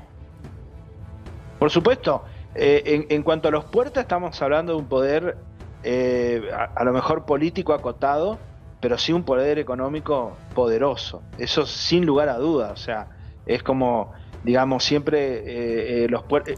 Los puertas están siendo investigados. El molino de Ramón Puerta está de, de- de- molino, este, como es, yerbatera eh, misionera, Sí. está siendo eh, investigada en Comodoro Pi Claro. por, por, por, por haber, este, como es, se encontraron eh, paquetes de yerba mate que estaban adulterados, agregados con este, productos que no son, que no es yerba. Eh, bueno, esa más o menos es la reputación que hoy tienen los puertas ahí en, también en, en- en Apóstoles. Esta causa está, eh, el- fue la ministra Petovelo la que presentó todas las pruebas y hay incluso facturaciones de los puertas Sí. ¿no es cierto?, hecho al gobierno de la, de la administración anterior, Eh, este, Sí. y, y se detectaron esas... Aníbal. eh, sí. sí. Fíjate, mira, poneme el de Daniel de Verazatei, en el contexto de lo que estamos hablando, ¿no? Dice, mm, hola, buen día. eh, dirán todos los nombres de los que estaban en esta trata con él. Los teléfonos que le sacaron son una bomba, eh, según presume, ¿no? Daniel de Verazatei, en el gobierno de Misiones. Le capturaron teléfonos, obviamente, a, lo- a este equipo. sí, sí, Sí. sí, por supuesto, y ya eh, incluso eh, yo, yo publiqué un, eh, dos chats, captura, o sea, eh, fotos del, del celular de Germán Quisca, ¿Qué contenían? eh, uno de los celulares que le secuestraron en la casa de él el 7 de agosto, Sí. el allanamiento que se hizo el 7 de agosto. Y ahí hay un, hay, eh, digamos, eso, eso, es- esas dos eh, conversaciones que él mantuvo con Pedro Puerta, ahí denota la, la, la, la relación de intimidad que, que existían entre ellos, ¿no? Porque incluso estaban, estaban contándose eh, cuestiones relacionadas con la sexualidad, con el sexo, la actividad sexual de ellos, ¿no? Pero perdón, ¿y Eh, hablaban también sí. del material eh, sexual No, de niños en eso- con ese contenido? En esos chats no, en esos chats no. En esos chats. No sé en los demás. Ajá. Porque, ah, bueno, esa aparentemente esa es la gran preocupación que tiene en este momento Pedro Puerta sobre todo, porque van a aparecer todos los chats que tenían las conversaciones, que era continua, o sea, eso es lo que hay que entender. Claro. No, no Eh, acá Pedro Puerta tiene que salir a dar explicaciones él también, e incluso hay gente que le está pidiendo la renuncia a él mismo. En línea con Eh, lo la gente que dice, Perdóname, con lo que decía la, la- la televidente recién. No nos olvidamos del último Claro. caso de resonancia el año pasado de, una suerte de, puntualmente así decía, reclutar menores y mayores de edad en situación de vulnerabilidad con fin de someterlos a la práctica de relaciones sexuales y explotación. Pasó en Oberá, que es el caso de Angelotti, Mermet y Charpenet, donde lo toca a Marcelo Coraza. Ahí había una connivencia con la política local eh, eh, evidente y también tenían el mismo mecanismo porque tenían locales de nocturnidad y alguna una pizzería también particularmente. En Apóstoles, eh, ¿tenés conocimiento de eh, casos de, prácticas similares o que se haya llevado adelante en el corto plazo algún tipo de, allanamiento o denuncia en sí de, una red de trata particularmente? No, no, hay, hay versiones, por supuesto, porque cuesta llegar a, digamos, a las pruebas de, de, toda esta, ¿no? Es como el caso Logan, hay un montón de versiones de teoría, pero no, no aparecen las pruebas, no aparecen los... Eh, hay apenas algunos indicios por ahí dando vuelta, pero en estos casos también se cuidan mucho, por eso, eh, fíjate vos que eh, este, este tema se detectó en Estados Unidos, no acá en Argentina. Claro, por, pero, por, una cuestión de menores, Aníbal, ahora la semana pasada entrevistamos a una mujer que fue víctima de trata y contaba que en este tipo de lugares aparecían políticos a los que ella pedía ayuda, funcionarios. También tener este tipo de lugares le genera un cierto poder a estas familias, porque pueden decir, mira que filtro tu foto, mira que vos fuiste acá. Entonces, Guarda si hablas. Claro, entonces eh, se empieza a comprender por qué tienen esta posibilidad de escapar tan libremente o de albergarse en un lugar cerca de su lugar de origen pensando que nunca los van a atrapar y cuando son atrapados dicen que es una persecución política. Pero la realidad es que esta causa avanza al ritmo de que se le permita avanzar o no. Sí, por supuesto. Eh, aparentemente ya están las pruebas que involucran en forma directa a, Germán Quisca y a Sebastián Quisca y seguramente hay más elementos que van a permitir este, profundizar la investigación y, determinar la red provincial y, también internacional, sin lugar a dudas, porque este es el objetivo, ¿no? Fíjate esto, Aníbal, ¿no? Siguiendo con los mensajes, eh, prepárame, Meli, el de eh, Gabriela Zurita. Eh, a Quisca lo detienen en Loreto, que es una ciudad correntina, la localidad correntina, ¿verdad? Sí. Bueno, mira lo que preguntan. Hola, buen día. ¿Puedo dudar que apareció en Corrientes operativo La Bandina para el gobernador de Corrientes, o sea, para Valdés, en el marco de lo que pasó con Loan, etcétera. Fíjense cómo está la gente. Claro, ¿no? sí. Igual el operativo lo, hizo, la policía de Misiones. Eh, eh. Y además, eh, la vecina que vive allí, o sea, el hecho ocurrió efectivamente. Pasaron dos cosas. En Loreto, pero la gente hoy duda de todo. ¿Por qué? Porque Loan vamos para casi 80 días y, no aparece, porque acá se está hablando de una red de trata internacional, porque la política en su momento se metió en, el caso. a ver, contestándole a Gabriela, eh, Aníbal, vos que estás allí, y nosotros que vimos las imágenes, que nos comunicamos con gente de Corrientes por, afuera, ¿no? Con periodista correntino, efectivamente esto ocurrió. Un poroto, para, un poroto para Valdés, ¿no? Como decíamos, pero también hay dos cosas, Guille, porque fíjate que la que manda el mensaje de felicitación es Patricia Bullrich. Esta semana se difundieron videos que tenían que ver con la campaña política de Misiones que acompañaba a Patricia Bullrich junto con Kixa. Y a ver, cuando Patricia Bullrich dice, obviamente esto no la convierte en pedófila, no estamos diciendo esto, pero claramente como político te querés despegar de esa imagen, de la misma manera que hizo Puerta diciendo que eran cosas vomitivas. Lo curioso sí es que Patricia Bullrich en su tweet, en su mensaje, haga referencia a la buena labor que hizo el gobernador. Porque en realidad lo único que sucedió es que fue encontrado en Corrientes. ¿Cuál fue la labor de Valdés? No, seguro. Perdón, estaba leyendo un mensaje de una colega me, llega acá, ¿no? De Misiones que me dice que no la nombre. Y te pregunto, Aníbal, si tenés algún dato. Dice que está viendo el programa. Eh, es un dato sensible. Bueno, Kiska no tiene hijos y su esposa estaría atravesando una enfermedad por lo cual pasaba mucho tiempo eh, sola. O él, él viajaba mucho solo. ¿Te consta esto? ¿Tiene algún grado de verosimilitud? Sí, eh, mira, creo que esto está relacionado con un proyecto justamente que él presentó eh, con una enfermedad que se autoinmune, que es el lupus, ¿no? Claro. Eh, aparentemente la, esposa de él este, eh, no tiene hijos, eso hay que también señalar. Mm. está llevando adelante un tratamiento relacionado con el lupus y viajaba mucho a ella a Brasil para, justamente para, para tratarse esta, esta enfermedad. Bien. eso es el conocimiento que tenemos por ahora, ¿no? Bien. Sobre ese tema puntual. Quédate, Aníbal, siendo las 10.08, vamos a dar más detalles de esta información de último momento, cómo se llevaba adelante la detención de Germán Quisca al grito de soy inocente, este diputado misionero acusado de distribución de archivos de abuso sexual infantil.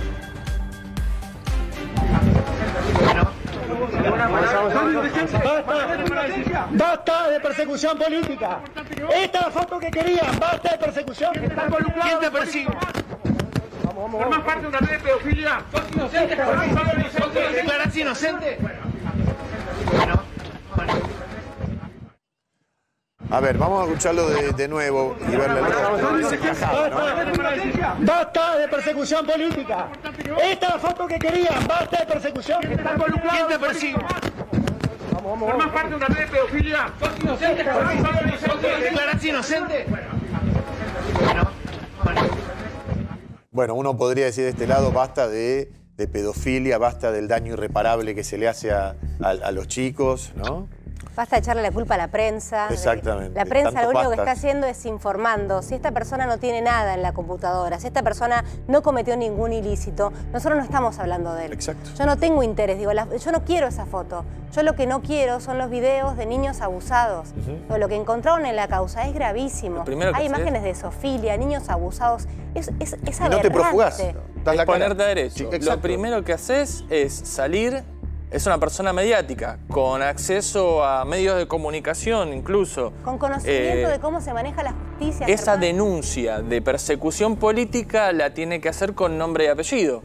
¿Quién lo persigue políticamente? Claro. Eh, para conseguir que tan poderoso es o tanta perspectiva de, de crecimiento político tenía este hombre o estaba llevando adelante algún tipo de, investigación legislativa que podría perjudicar a alguien. Listo, se expone eso, esta es la situación, esta es mi realidad. No, el hombre se fugó. Ahí estamos viendo también las imágenes de la fuga días atrás y hoy por hoy aparece a kilómetros, 170 kilómetros del lugar del hecho. Evidentemente, este, algo hay en esta causa, por lo tanto, no, no- a ver, no te vas, no te escapás, eh, buscando de alguna manera también el respaldo de un sector político. No, y, y te digo una cosa, hay que resguardar mucho la- su integridad, la vida de Kiska ahora, Y- ¿eh? porque eh, evidentemente eh, eh, eh, los teléfonos de Kiska van a hablar. Y sí, a ver, ese es el, el Grupo Especial de Operaciones de Misiones, lo trasladó a las 6 de la mañana. Pasó esto, la comisaría 2 de Apóstoles, donde está ahora alojado y se entiende que va a hablar ante la fiscal de la causa, el doctor Barronis, y el juez Faría sobre, evidentemente, las pruebas que, son, que hay, que son fundamentales, pero como decía recién el colega, quedan dispositivos por abrir. Y en esa apertura de dispositivos, ¿qué se puede encontrar? No solo eh, material de abuso sexual infantil, sino algún tipo de este, colaboración por parte de algún sector político de grandes sectores del poder político. En base a esta situación que se está investigando, yo creo que es la punta del iceberg. Sí, se abre una caja de Pandora, ¿no? Y yo ¿Cómo creo que- accedían que- a los niños? ¿Eh? ¿Cómo accedían a los niños? No, y- los y- niños per- pertenecían a una red de trata, los padres entregaban a esos niños, porque hay que llegar a un niño de esta manera. Digo, la, las la- la- imágenes... la vulnerabilidad, es lo que te contaba recién, cómo operaba el clan de Oberá, el clan de Angelotti, buscando chicos en estado de vulnerabilidad con la participación de las familias, a cambio de dinero, a cambio de comida. Eh, es una realidad, Guille, es una realidad de la Desde Argentina luego que te la lamentable. comenta la gente desde hace mucho tiempo. Eh, ahora, esa familia, Germán, ¿se animarán a hablar sabiendo que ahora eh, este tipo está preso y el hermano y se está llegando a... Podés decir la punta del iceberg, de pero se está derramando hacia todos aquellos que conforman esta es banda la, de pedófilos. es la labor que tiene la justicia y para mí es muy importante que, que la- que esta causa la tome una- la justicia federal, eh, como en el caso Logan, por ejemplo. Claro. Las presiones que existen o acuerdos que existen con las políticas, con las, eh, los juzgados provinciales, los jueces, los fiscales. No te olvides que quien designa a los jueces y los fiscales son los mismos gobernadores, los mismos diputados o legisladores provinciales. Son eh, favores que se deben continuamente. En ese sentido, no estoy hablando particularmente de estos jueces, eh, eso lo aclaro, pero es una realidad que existe incluso también en la provincia de Buenos Aires. Hay connivencia constante. Por eso mismo es importante que alguien se ponga al frente con un interés, este, digamos, si- si- sin ningún tipo de, de Sí. intermediación. Y, y perdón, y, y te pregunto, Aníbal, la- la- las acusaciones, Sí. las imputaciones son las mismas, digo, la de eh, distribución de archivos, videos, fotos, con el contenido de abuso sexual infantil, también para el hermano que todavía está prófugo, para Sebastián.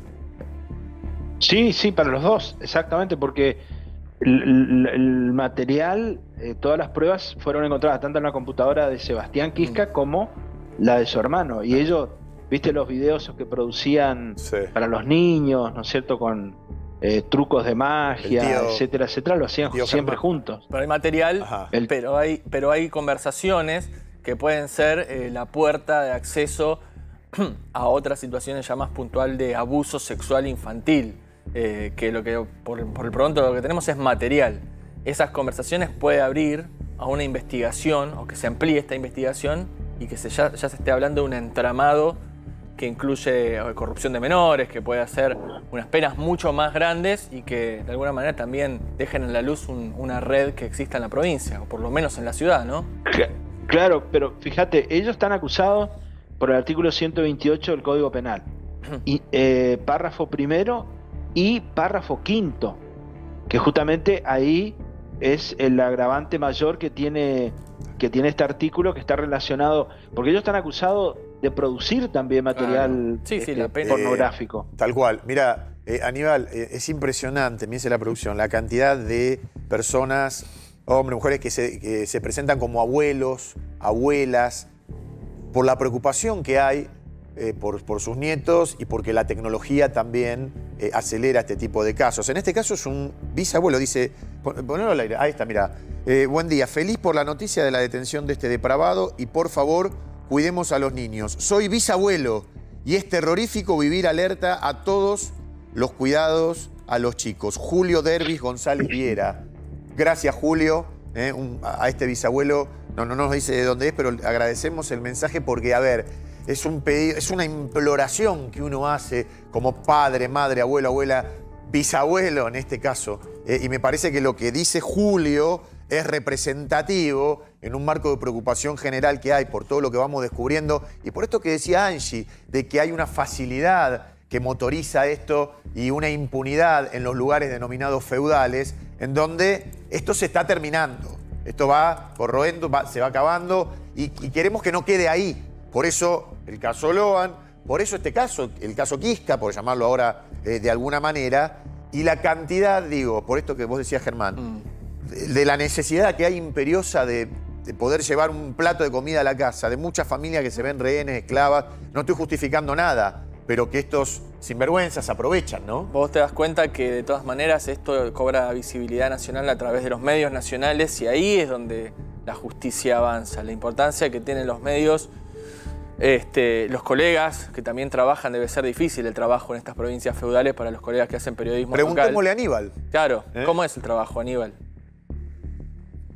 No, eh, o sea, eh, yo, yo te hablo de misiones específicamente, ¿no? Acá hay libertad de, de hacerlo, de avanzar en, en investigaciones, eh, sea, sea del oficialismo, contra el oficialismo o contra la, la oposición. No hay una persecución, ¿eh? No, no. Este, sincer- yo te hablo de misiones, ¿eh? Es Sí, muy sí, diferente a Formosa, muy diferente a Santiago del Estero. En ese sentido te estoy hablando, ¿no? O sea, vos fíjate que acá hubo, eh, ¿cómo es? Eh, la crisis de, de las manifestaciones de la policía de Misiones que cortaron eh, calles, avenidas y sin embargo se pudo trabajar tranquilamente. O sea, en ningún momento el gobierno reprimió siquiera el- esa- esas manifestaciones. O sea, este, y bueno, eh, eh, eh, este, este es un caso que es paradigmático y que además genera escosor en toda la sociedad y en toda la gente y, también, por supuesto, en el periodismo, porque nunca esperábamos que una persona de esta de, de- este nivel, digamos, de actividad política y que además tenía una carrera para adelante impresionante, o sea, un futuro político, ¿no? Porque es joven, Germán Quisca es joven todavía y, y recién está iniciándose en la política, en la política grande, digamos. Este, fíjate que él estuvo antes de ser allanado, estuvo en la Casa Rosada. Claro. Entonces estuvo ahí acompañando eh, como con el director, con el secretario de prensa, estuvo junto con justamente Pedro Puerta y la diputada nacional Clipauca, Florencia Clipauca, que son del partido de Activar acá en Misiones, o sea, un partido nuevo que ya estaba, que ya tiene un diputado nacional y, y, este intendente, el intendente eh, de Concepción de la Sierra que está ahí pegado a, a Apóstoles también per- eh, pertenece al mismo partido, o sea, ahí vos ves cómo iban creciendo y sin embargo eh, por esta situación este, tira por la borda toda su carrera política, ¿no? Claro. Lo que me Eh, decía. Aníbal, Sí. eh, Quería preguntarte algo que nos derivó del caso Loban, que tiene que ver con la venta de niños. Y entiendo que en Misiones hay antecedentes, voy a ser cuidadosa, eh, con la venta de bebés en un hospital, que fue un caso, eh, que hubo varios casos conocidos, que es algo que se sabe a voces, pero que no termina de hacerse visible y que hay connivencia de la justicia y la política con esto. Mirá, eh, acá hubo un, caso de una jueza de Oberá que justamente junto con su marido participaba en toda esta maniobra. Estoy hablando de hace muchos años, más o menos 10 años atrás. Y, bueno, fue justamente se le hizo un juicio político y se le echó del, digamos, del cargo de jueza, este, que participaban justamente en, esa, en esa actividad. O sea, eh, detectaban eh, chicas eh, adolescentes embarazadas, le ofrecían dinero y entregaban los bebés, ¿no es cierto? Y entonces ellos hacían todo el, procedimiento para la adopción de esos bebés. Esto es moneda corriente acá. O sea, acá en, Posada, mejor dicho, en, en, Misiones, sobre todo en el interior de Misiones, que chicas que quedan embarazadas a corta edad entreguen a sus hijos, regalen a sus hijos. Esto es moneda corriente. ¿Para ¿No hay fiscales que actúen de oficio ahí? ¿Cómo? ¿No hay fiscales que, actúen de oficio? Si no hay denuncia, si no hay nada, si, si es Vox Populi, nadie investiga. Claro, o sea, por ahí cuando hay una denuncia se investiga y aparece el caso y bueno, se, se destapa, pero generalmente no, porque hay toda una discusión con ese tema, ¿no? El, tema de la adopción, el tema de los niños, eh, gente que realmente los que adoptan, eh, eh, gente que, tiene un buen pasar económico, viene de Buenos Aires, de Rosario, de Córdoba, a veces también vienen de otros países, y bueno, es como que es gente que no, o sea, adopta para criarlo como hijo suyo. Una de las primeras Entonces, y el caso Logan también, ¿no? La venta del chiquito. claro. La, la, historia, Aníbal, de este, este tour escabroso que hay de matrimonios que vienen de Europa ¿Qué grado de eh, verosimilitud tiene? Bueno, hace poco también acá se, rescató un, bebé que, pero con una impunidad total, estaba pasando por migraciones acá por eh, el paso de Posadas a Encarnación. Y, bueno, eh, justamente era un matrimonio, eh, creo que no me estoy acordando, no, tengo presente el caso, pero era de, no sé si de Alemania, Alemania. por ahí. Alemania, exactamente y estaban llevando este, un bebé y lo detectaron ahí en migraciones porque no tenía no tenía documento, no tenía absolutamente nada, o sea, estaban pasando así eh, como si nada hubiese pasado y ahí lo, detuvieron. Entonces hay, hay situaciones que se logra detener, se logra apresar, ah. pero después hay casos que no. Claro. aparte, también hay pasos, eh, eh, se puede pasar al otro día en forma ilegal este, por el río, ¿no es cierto? El río Paraná que divide a, Paraguay. Eh, esto se hace en bote, en lancha, en lo que se te ocurra. Y bueno, es moneda corriente, por supuesto. Lamentablemente. Es, muy complejo también. Claro, porque detrás de una detención, de un ponele que vos eh, eh, detenés a este matrimonio alemán con nueve, ¿cuántos, ¿cuántos pasan, no? O sea, tenés uno, lo pones ahí en la portada, pero ¿cuántos están pasando? ¿O cuántos han pasado? Así es, esa es la punta del iceberg. Claro, claro, claro. Sí, sí. Eh, o sea, hay, hay, hay muchos casos, sin lugar a duda. Esto es, es moneda corriente. Yo separo el caso de Loan, porque acá no tenemos un caso tipo Loan de chicos que hayan sido eh, secuestrados, captados, digamos, eh, a, esa edad. Generalmente todo se da con bebés. Y, y, además bebés recién nacidos, ¿no? ¿Pero qué da más plata, la adopción o la trata? Eh, Aníbal, te, lo, pregunto, obviamente no tenés por qué saber los montos, pero digo, si yo lo pienso como un negocio, la venta de un bebé para adopción es una sola vez. Y la trata eh, es algo que se puede vender diariamente varias veces por día. Exactamente, exactamente. Bueno, eh, ahí ya uno, viste, yo no sé cómo es el negocio de la venta de bebé, tampoco conocemos bien cómo es el tema de la trata, pero bueno, este, todo el tema, por, por, ejemplo, acá hay una sospecha con respecto a los Kiska, que ellos no solamente consumían, sino que le empezó a gustar el dinero que estaban ganando distribuyendo, por eso ellos producían. Porque eh, el Qué dinero que, se gana a- aparentemente es mucho. Es muchísimo. Entonces, es en, muchísimo. exactamente, en distribuir, o sea, en producir y distribuir.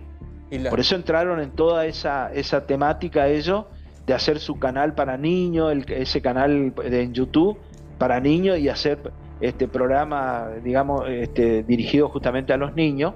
Y ahí está el tema de cómo los niños acceden fácilmente a, eso, a esos programas. O La sea, producción- tienen el celular en la casa Sí. y en un ratito eh, te ingresan a toda la... la- la- yo te digo por, por conocimiento de causa porque tengo nietos, vos le das un celular, una nieta de, de dos años le da un celular y, y entra en, en, la- en aplicaciones que yo a lo- me cuesta entrar, por ejemplo, ¿viste? Podría O sea darse ahí en los cuenta. lugares, en Estudio 55, en esa pizzería, esos podrían ser los lugares donde se podrían haber realizado la producción de, de estas imágenes Sí, aberrantes.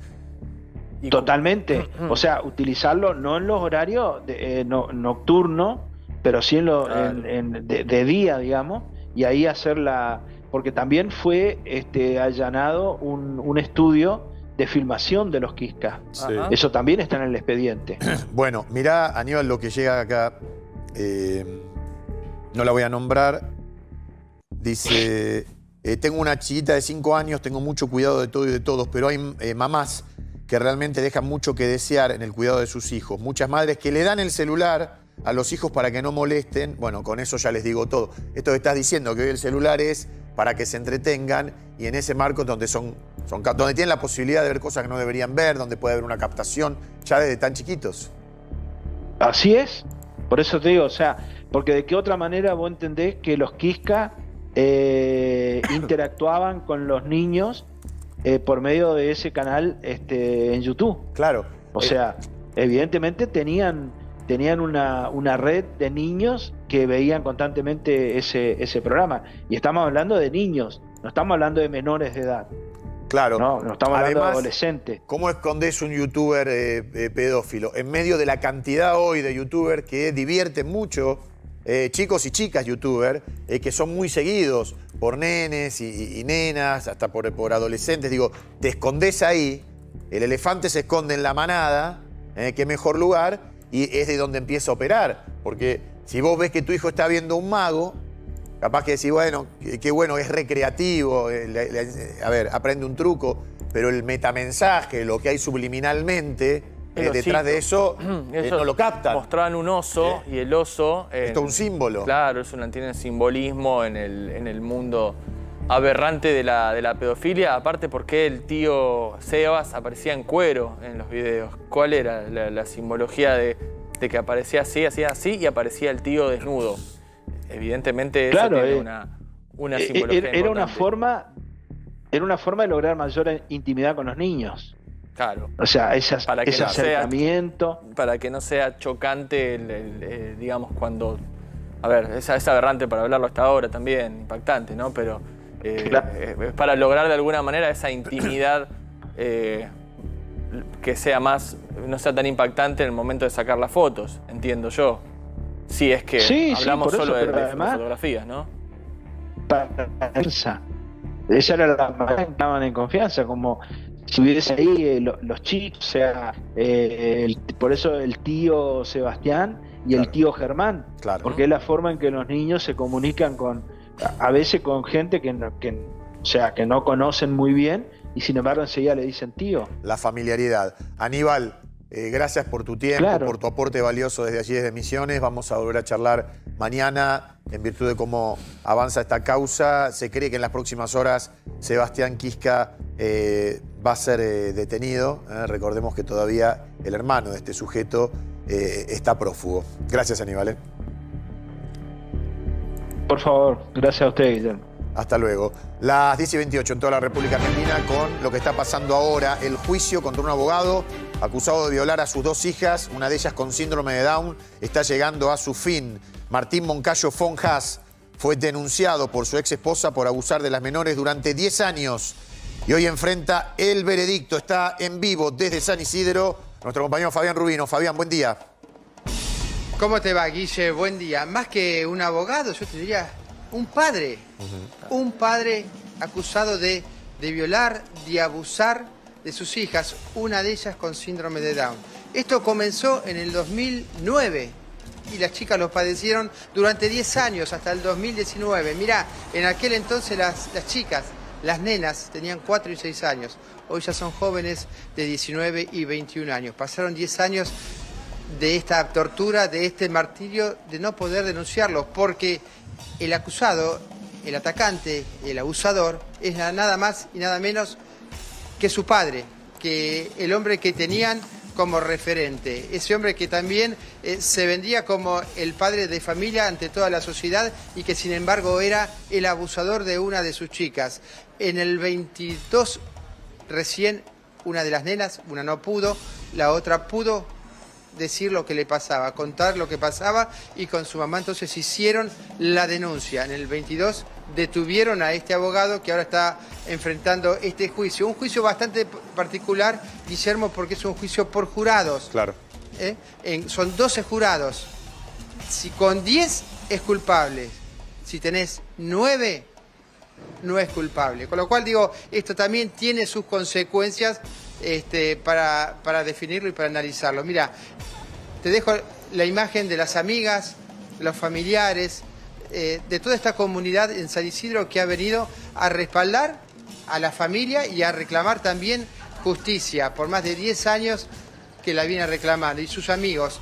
¿Tu nombre? Santos. Santos. Bueno, Santos, eh, vemos que hay mucho compromiso en los amigos de, de Francisca y de Camila. ¿Cómo están ellas? Y bueno, es una situación muy dura, claramente. Ellas están apareciendo poco por acá porque están muy estresadas y angustiadas, pero, pero bueno, están todos tirando para adelante porque lo más importante es que se haga justicia en este momento. Entonces, es un esfuerzo que tenemos que hacer entre todos para estar acá hacer presencia. Felicitas, vos sos amigas de... Camila. De Camila. Eh, ¿Lo conociste al padre? Sí. ¿Lo viste en este proceso?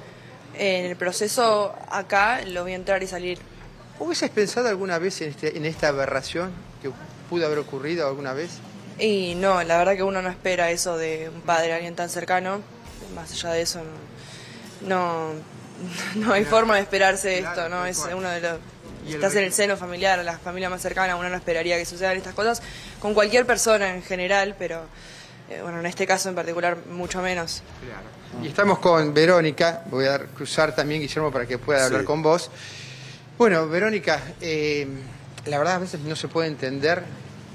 Entra en la cabeza. Yo, Guillermo, te digo una cosa. Cuando vine, pregunté si era el padrastro. No, no podía entender que era el padre. Y digo, ¿te entra en la cabeza lo que pasó? Eso es lo que tiene de inexplicable este caso, ¿no? Es que justamente se da dentro del seno familiar y por su propio padre. Así que creo que nadie se lo esperaba. Em, suelen suceder este tipo de cosas. Estamos acá pidiendo justicia por todas, por, Cami, por Fran, por su familia, que digamos, ha padecido este hecho tan aberrante, pero también estamos pidiendo justicia por aquellas personas que no pueden alzar la voz, que no se animan. Em, y queremos animar justamente a esa gente a que hable, independientemente de quién sea eh, quien está cometiendo el abuso. Claro, mira, este, escuchando a Guillermo Andino, que seguramente tendrá alguna consulta para hacer. ¿Qué tal? Hola, Guillermo. Hola, Verónica, ¿cómo estás? Te escuchaba atentamente. Agregando lo que vos estabas diciendo, eh, la difícil, la dramática situación, este calvario, eh, también eh, se supo que una de las, de las chicas violadas y abusadas tuvo tres intentos de suicidio. ¿Esto es así? Sí, sí, así es. Sí, sí. Y luego de eso, con el acompañamiento familiar y terapéutico que ha tenido, ha logrado hablar. Sí, a ver, eh, en este caso eh, la, Fiscalía tiene pruebas contundentes eh, y, que van a llevar a una, a una sentencia, pero siendo ahora las dos jóvenes ya más grandes, también hay que cuidarlas, hay que protegerlas. ¿Quiénes, quiénes están al lado de, ellas hoy? Aparte, bueno, todos ustedes me, imagino, ¿no? Sí, estamos toda la comunidad apoyándolas desde el principio. Está, por supuesto, su familia, que, las acompañan eh, todo el tiempo, tienen un grupo terapéutico muy importante y bueno, los abogados de parte también eh, que están eh, haciendo su, defensa lo mejor posible. Las herramientas que, los testimonios, digamos, que, pudo recabar el fiscal fue en salida de instrucción de la causa, son fundamentales y muy contundentes, contundentes. sí. Ahora hay que, de alguna manera, llevárselo al, al tribunal eh, popular que va a estar seguramente determinando la culpabilidad o no. Son 10 votos que necesita para declararlo Sí. culpable. Entienden de Sí. que, nada, eh, es un tribunal popular, un juicio por jurados, van a tener la consideración de la gente, van a estar más tranquilos en ese sentido, ¿no? Del resultado de este juicio. Eh, estamos esperando que, que se haga justicia, realmente. Que sea eh, un fallo ejemplificador y que se haga justicia. Ajá. Eh, este sujeto, Martín Moncayo Fonjase, ¿no? Eh, Digo, eh, un abogado reconocido, sonanote también, típico de, de- de la doble cara, ¿no? Eh, estudios en la Universidad de Buenos Sí, Aires. Es donde uno menos se lo espera, por eso suceden las cosas. En donde uno menos instituciones- espera. Y de la persona que menos espera Sí. suele ser un patrón bastante eh, común. Antes de conocerse esto, vos, vos lo conocías, digo, porque el- hombre además se jactaba de haber estudiado en Alemania, digo, Bueno, sí, ¿no? eh, Todo un tema que vos decís Sí, cómo, sí. cómo, puede, cómo puede engañar. afortunadamente Sí. hablaron las, la- las chicas, ¿no? Pero también les costó. Sí, sí. Les costó, vamos a decir esto, no es que de- Muchísimo. se decidieron, les costó muchísimo. mucho tiempo. Era el padre. Era el padre. O sea, eh, fue realmente eh, un camino muy arduo, eh, muy doloroso para las nenas y para la familia que ha sabido acompañar debidamente. Verónica, recordemos cuántos años tenían las chicas cuando empezaron a ser abusadas por este sátiro. Cuatro y seis años, muy chiquitas. Claro. Donde vos empezás a, a internalizar este, los primeros conocimientos de tu cabecita, donde crees que lo que te hacen es hasta natural. Digo, Una niñez arrebatada. totalmente, totalmente. Eh, Por eso decimos basta de abusos infantiles, basta. Eh, esto no se puede seguir tolerando. Eh, Además, que, bueno, nada, eh, solo Verónica, perdón, decirte que 10 sí. años, toda una década, uno, uno se retrotrae a 10 Muchísimo años tiempo. atrás, 2014, todo, todo lo que pasó en la vida de, de- de uno, todos nosotros, mientras ellas eran abusadas en reiteradas oportunidades. Sí. Nadie podría haberlo imaginado. Nadie. Nadie. Esto se da en el, en el- en el marco de abuso intrafamiliar que eh, Sí. se callan mucho estos casos, cobran visibilidad después de un trabajo muy importante de, de- de sostén dentro de la familia también. Sí, Ahora, sí. Por eso lo han podido hacer, por el sostén que tienen detrás. claro, en ese sentido el Porque están que las acompañadas chicas. y pudieron hablar. Sí. Claro, pero fíjate que entiendo, si no corregime Verónica, que la mujer de este sujeto se entera que su ex esposo abusaba de, de- de sus hijas por el testimonio de una de ellas, pero recién en diciembre de 2019, ¿no? Cuando se animaron a. Cuando Sí. una de ellas le confesó Sí. a la mamá, ¿esto es así? Sí, es así. Es así. Ha estado todos esos años eh, sumida en una angustia tremenda de no poder decirlo. Pero bueno, finalmente, gracias a Dios, lo pudo hacer. Ajá. Te pregunto a vos o a, nuestro, o a Fabián, nuestro colega, este sujeto está ahí adentro. la- eh, ¿A qué hora se espera la, la- la sentencia, Fabi? No, no hay un horario No hay un establecido. horario establecido. Son los alegatos y esto es... Están en los alegatos de una a dos, creo que hay un almuerzo, y de una en adelante se van a reunir. El jurado es el que se reúne y tienen un espacio de dos días, pero se cree que obviamente Claro. en el día de hoy va a producir la sentencia, que puede ser también polémica, ¿no? Por el- los números que necesitas para la condena o no de este sujeto. Y con Me- tres me votos parece, lo sí. absuelven, pero Claro. me- la- Acá me parece. el resultado de la Cámara Gesell es contundente en este caso. Hay casos que son mucho más complejos pero- en el sentido de, de visibilizarlo y llevar las pruebas. En este, en este caso no. Sí. Eh, fue Sí, bueno. contundente. Sí, bueno, pero sí, confiamos realmente, confiamos y rezamos para que hoy se haga justicia. Esperemos que así chicas. sea. Esperemos que así sea, eh, Bueno, Verónica. muchas gracias. Eh, te agradecemos tu testimonio Gracias. y a toda la gente que está allí No. por acompañar. Gracias, Fabi. Volvemos en minutos. ¿eh? Que es, Sí. es- es muchísima gente, hoy a la mañana había Sí. mucha más gente todavía y se espera que venga mucha más gente para la hora del veredicto. Así que, Por la bueno, tarde. por la tarde. Así Gracias, que estamos Vera. todos acá clamando por justicia. Nos vamos con esta imagen, Guillermo, con Seguro. los chicos, con los familiares, con los amigos, con sus manos en alto y con los carteles que están reclamando justicia, en este caso la verdad, espeluznante, trágico, Seguro. por cierto. Bien, bien por todos los que están acompañando, los que acompañan desde sus casas y los que esperan, los que esperan que sea una, sentencia contundente. Fabi, tenés total prioridad eh, para llamarnos. Hasta luego. Justicia, justicia, justicia, justicia, justicia, justicia, justicia, justicia, justicia, justicia, justicia, justicia, justicia, justicia, justicia. Las 10 y 39 en toda la República Argentina, 14 grados 6. La temperatura se espera que suba eh, un poquito más, así que atención con esto. Hoy nos levantamos, estaba fresquito, tuvimos mañanas más frescas, ¿no es cierto, chicos? Pero, con sol, Guille. Claro. Ya empieza a amanecer más temprano. Tal cual, viste, ya se ve la luz. Es otro el humor. Ya se ve la luz. Ahora eh, hay 14 grados 6, parcialmente nublado. Por la tarde 17 grados, parcialmente nublado. Por la noche 13 grados, también eh, con nubarrones. Eh, decime después cuando vamos a dar todo el, el pronóstico completo. Ahí lo tenés. Eh, La magia de la tele, gracias, Meli. Eh, para mañana, mi- upa, jackpot de precipitaciones. Viernes, mínima 11, máxima 13, con lluvias. Lluvias fuertes, ¿eh? Santa Rosa. Sí, claro, justo cae, ¿no? Hoy 29. Hoy, sí, mañana. Mañana. Claro. Mañana 30, Santa Rosa cayó justo, sí señor. Con la- encima con la alerta amarillo. Bueno, para el sábado más o menos igual, mínima 11, máxima 14, también con fortísimas lluvias y alerta amarillo. El domingo, eh, mínima de 10, máxima de 15, mejorando un poquito, pero con precipitaciones. Y el lunes, recién el lunes, feo asoma, mínima 10, máxima 17 con el cielo parcialmente nublado. Esto es lo último de los Rolling, ¿no? Vamos. Vigentes. Siempre vigente. Y extrañando a Charlie Watts, ¿no? Porque no hacía que Sí. estamos. ¿eh? Sí. Bueno, ¿sos, sos eh? Soy más, soy más del, del rock nacional. Del Nacional. Bueno, está todos nos gusta el rock nacional, pero Beatles, Rolling, sí. No, pero son una eminencia. Exacto. ¿Vos te casaste, Germán? sí. Comprometido. Comprometido. Bueno, te voy a dar una buena noticia para los Ah, que digo, comprometen. vamos a hablar. ¿Qué Porque a partir de ayer, Sí. con el decreto 765-2024, Ajá. no hay que pagar más derechos de propiedad intelectual en lo que es el ámbito privado. Ajá. O sea, hoteles y salones no tienen que pagarle a Sadaic. Claro, que, a ver, Sadaic y también estamos hablando de Sagay. Ajá. Eh, a ver, ¿qué es lo que pasaba? Lo que estaban diciendo es, si yo estoy en el ámbito privado en una fiesta, antes tenías que pagar un proporcional a Sadaic. Esto va a traer cola, Guille, porque parece que es una buena noticia, pero en realidad a todos aquellos que tienen creado una canción, la realidad es que Sadaic era un ingreso de dinero importante, Claro, lo mismo claro. Sagay. Pero ¿qué es lo que pasaba? Por ejemplo, vamos a hablar del caso de las series o de la televisión.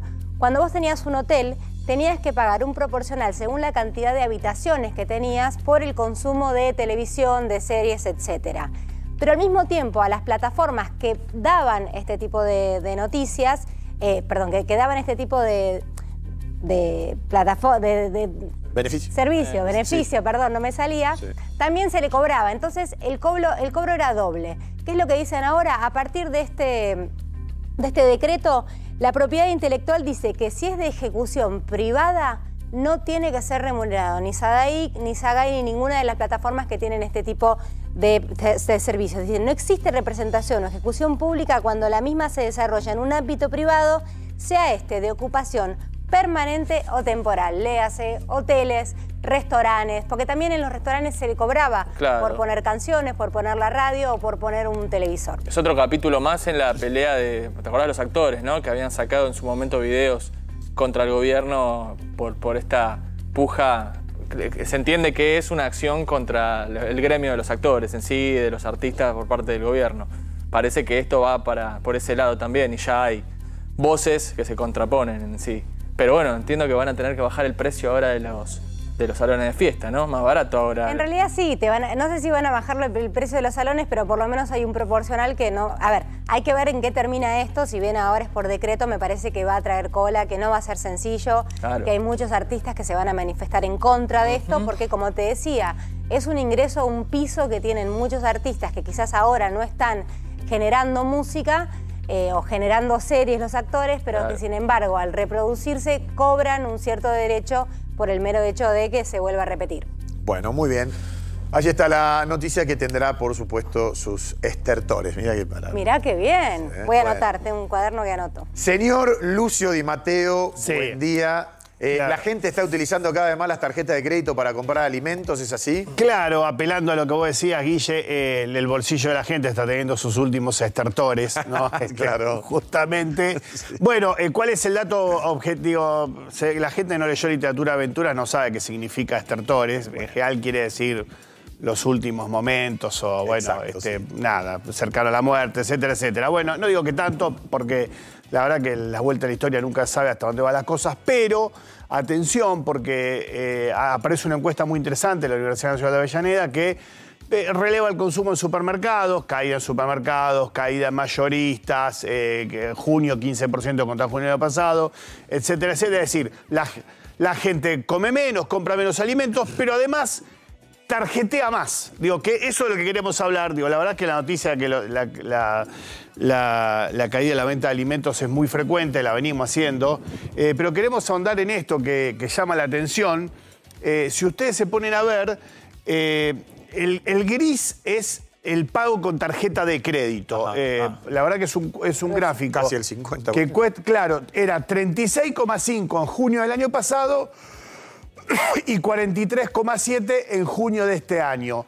El verde, verde más suave o, verde más fuerte, es efectivo y tarjetas de, eh, de débito. Es decir, plata que tenés en la mano o, plata que tenés en la cuenta. Y fíjense ustedes cómo, cómo retroceden. El efectivo pasa del 25,5 al 17,3 y, eh, y el débito pasa del 31,7 al eh, 30,4. Digo, prácticamente todo lo que hoy se paga con tarjeta de crédito es lo que antes pagabas en efectivo. ¿Qué quiere decir esto? Que la gente tiene menos guita, eh, que aprovecha y tarjetea, que por ahí el efectivo, digo, que también la inflación hace que el efectivo, digo, esto es junio, no me acuerdo cuando salió los billetes de, de 10 mil pesos, creo, creo que fue por ahí aproximadamente, pero hasta que salieron los billetes de 2 mil pesos, vos tenías que ir a pagar algún efectivo y, y llevabas un fajo así, que parece que eras millonario, y eran todos de mil y de dos mil, o, o- o de 500. Entonces, digo, hay muchas razones para dejar de efectivo y pagar con tarjeta de crédito. La primera es que la gente tiene menos plata, digo, lo cual este, es un esquema económico que yo no sé hasta cuándo dura, porque la verdad que digo, no, no- entiendo cuál es la gracia de un sistema económico en el cual la gente tiene menos plata en el bolsillo y la rinde menos. Alguna gente se cansa de elogiar esto, pero este, a mí que me gusta el capitalismo, me gusta que la gente tenga plata en el bolsillo, porque si no, no funciona la rueda. Eh, y la gente reemplaza con tarjeta de crédito. Los bancos, digo, también esto, las crisis eh, cobijan distintos fenómenos que- que dan cuenta de cómo funciona la realidad. Los bancos, a su vez, se han vuelto. Antes eran muy estrechos, viste que los bancos eran. Ah, no, porque te atrasado dos días, te mandaban cual. email, te llamaban por teléfono. Sonaban las alarmas. Sí, faltaba que te mandaran un WhatsApp y una carta de documento a tu casa.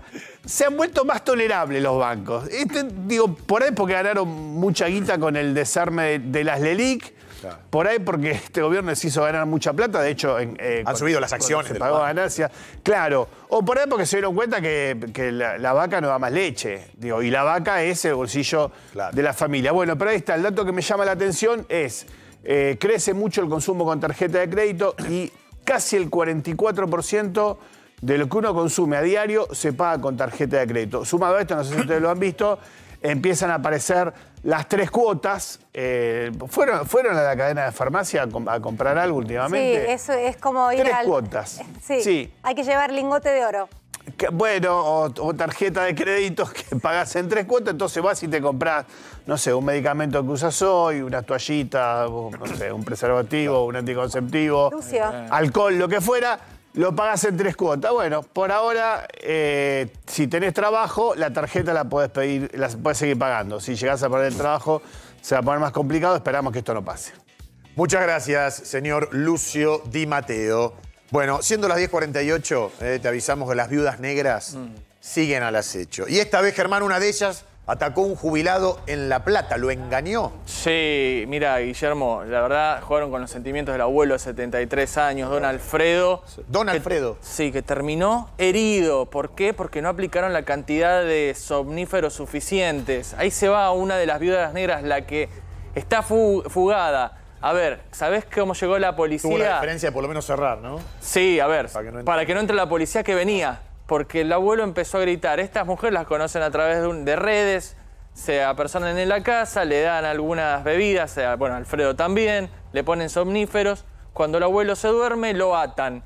Lo atan, lo mañatan, pero se empezó a despertar. ¿Qué le hicieron estas viudas negras para robarle? Le dieron un botellazo en la cabeza. Le abrieron la cabeza al abuelo de 73 años, el abuelo empezó a gritar, un vecino escuchó, como el vecino escuchó llamó a la policía y la policía llegó al lugar, pudo detener a una, es una mujer de 40 años, no llegaron a robar nada, pero el abuelo quedó mal herido, fue trasladado al Hospital de La Plata, la Departamental de La Plata, la Comisaría Cuarta de la Loma, trabaja para tratar de identificar a la otra de estas eh, mujeres desgraciadas que jugaron con el abuelo de 73 años, un hombre muy grande. Lo dejaron muy mal herido. Las dos habían ingresado. Las dos ingresaron, obviamente estuvieron El abuelo en, les una abrió, reunión, les ¿no? ¿O abrió. primero estuvieron en otro lugar. No, no, fueron Ah. directamente a la casa, esa es la información preliminar que hay. Obviamente el abuelo todavía está, está en mal estado, busca a la policía a la otra, ya hay una detenida de 40 años. Viudas negras en La Plata. Bien, muchas gracias, Germán. Bueno, eh, siempre Angie nos trae videos eh, de la vida cotidiana y eh, este que viene es un ejemplo de ello, ¿no, Angie? Este es un video que fue viral, Guille, porque tiene que ver con algo que a muchas personas les cuesta, que es hacer ejercicio y cómo esta familia motiva al marido, al padre de familia, para que se ponga en forma. A ver. ¡Vos podés, Cristian! gordo. Dale, Cristian, vos podés. Camina si sabes lo que te conviene. Qué lindo. Cada gota de sudor es una batalla ganada. No hay nadie, mira. Y más vale que me subí. Dale, pasa. Te amamos, papi. Te amamos, Cristian. Qué bueno. A ver, Dale. Contemos el contexto. ¿Qué está por entrar a un gimnasio? Está por arrancar el gimnasio Ah, qué lindo. y lo lleva la Y familia. fue la hinchada, la familia es la hinchada. Vamos, guerrero, carajo. Ahí va, mirá. Escúchame, atendeme, no te vas. Te amamos, Cristian. ¿Sabes que te amamos? Vamos, Cristian. Mirá, mirá, mirá. cualquier cosa. Mira, no se Moralicen. Vos, Dele vos para adelante, gordo. dele para Dale. Anda y acomódame toda esa en la estantería. Acomódame Estantería. toda esa mercadería en la estantería. ¡Vos podés! ¡Vamos, guerrero! ¡Vos podés, Dale, Cristian, vos podés. Es espectacular. Qué lindo. Es lo que te conviene. Cada gota de sudor es una batalla ganada. Sí. Meli, tenemos que tenemos dentro de un mes, dos meses, hablar con Cristian y, la, y a ver cómo, si fue todos los días o y de repente hace que entre y se la toma al bar de la esquina. ¿eh? Vamos, Cristian, a ver, vamos por Cristian, ¿eh? Mira, mira, mira, Clara, Clara, tenés hinchada acá, con Clarita salgo con todo. Vamos, Cristian, vos podés, lo vamos a seguir. Hablemos, hablemos mañana con Cristian. Sí, no esperemos. El antes y el después. Que se sacar la foto, el antes y el después. ¿Viste parece, esa foto? Parece que se exilia, ¿viste? Sí. Dicen como, se despide el nene, le dice, te amamos, papi. Está haciendo el gimnasio nomás, Cristian. Tal cual, sí, sí, sí. Pero Ah. bueno, entiendo que para Cristian es un montón, digo. Obvio, obvio, este obvio. aplauso Pero sí. para él. Este, no, es, no va al desembarco, no Martía, no, pero, no. pero va al gimnasio y. Y después se, convierte en furor en resto, todo musculoso, Cristian. No, horrible. Y además, hablando en serio, va a morir. Cristian pasa a ser un ejemplo para muchos. Un montón. ¿No es cierto? El sedentarismo es una... Seguro, sedentarismo. La obesidad reconocida por la OMS ya desde hace dos décadas como una enfermedad, ¿no? Eh, digo, eh, la verdad, Cristian, desde acá, vamos, Cristian. Vamos, Cristian. Estamos con vos, Cristian. ¿eh?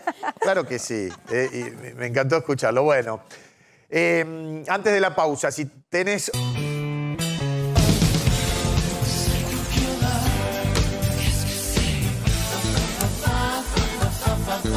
10 y 59, rumbo eh, a las 11 ya casi del, del mediodía, 14 grados 6, ahora va a cambiar la temperatura. Allí el Río de la Plata, esta postal que te devolvemos, que le estamos dando al país, eh, como todos los días, contándoles el pronóstico del tiempo del AMBA para lo que se viene, para que ya vayamos planeando el fin de semana. Hoy es jueves, pasó bastante rápido la, la- la semana. ¿Sí? ¿no? ¿Te pareció? La verdad, a mí sí, la verdad que sí. Este, ya se está preparando Clara Salguero con información exclusiva para jubilados. Eh, tenemos el consultorio, eh, como, como todos los días. Eh, por supuesto, vamos a tratar todo el, el tema de eh, Marley.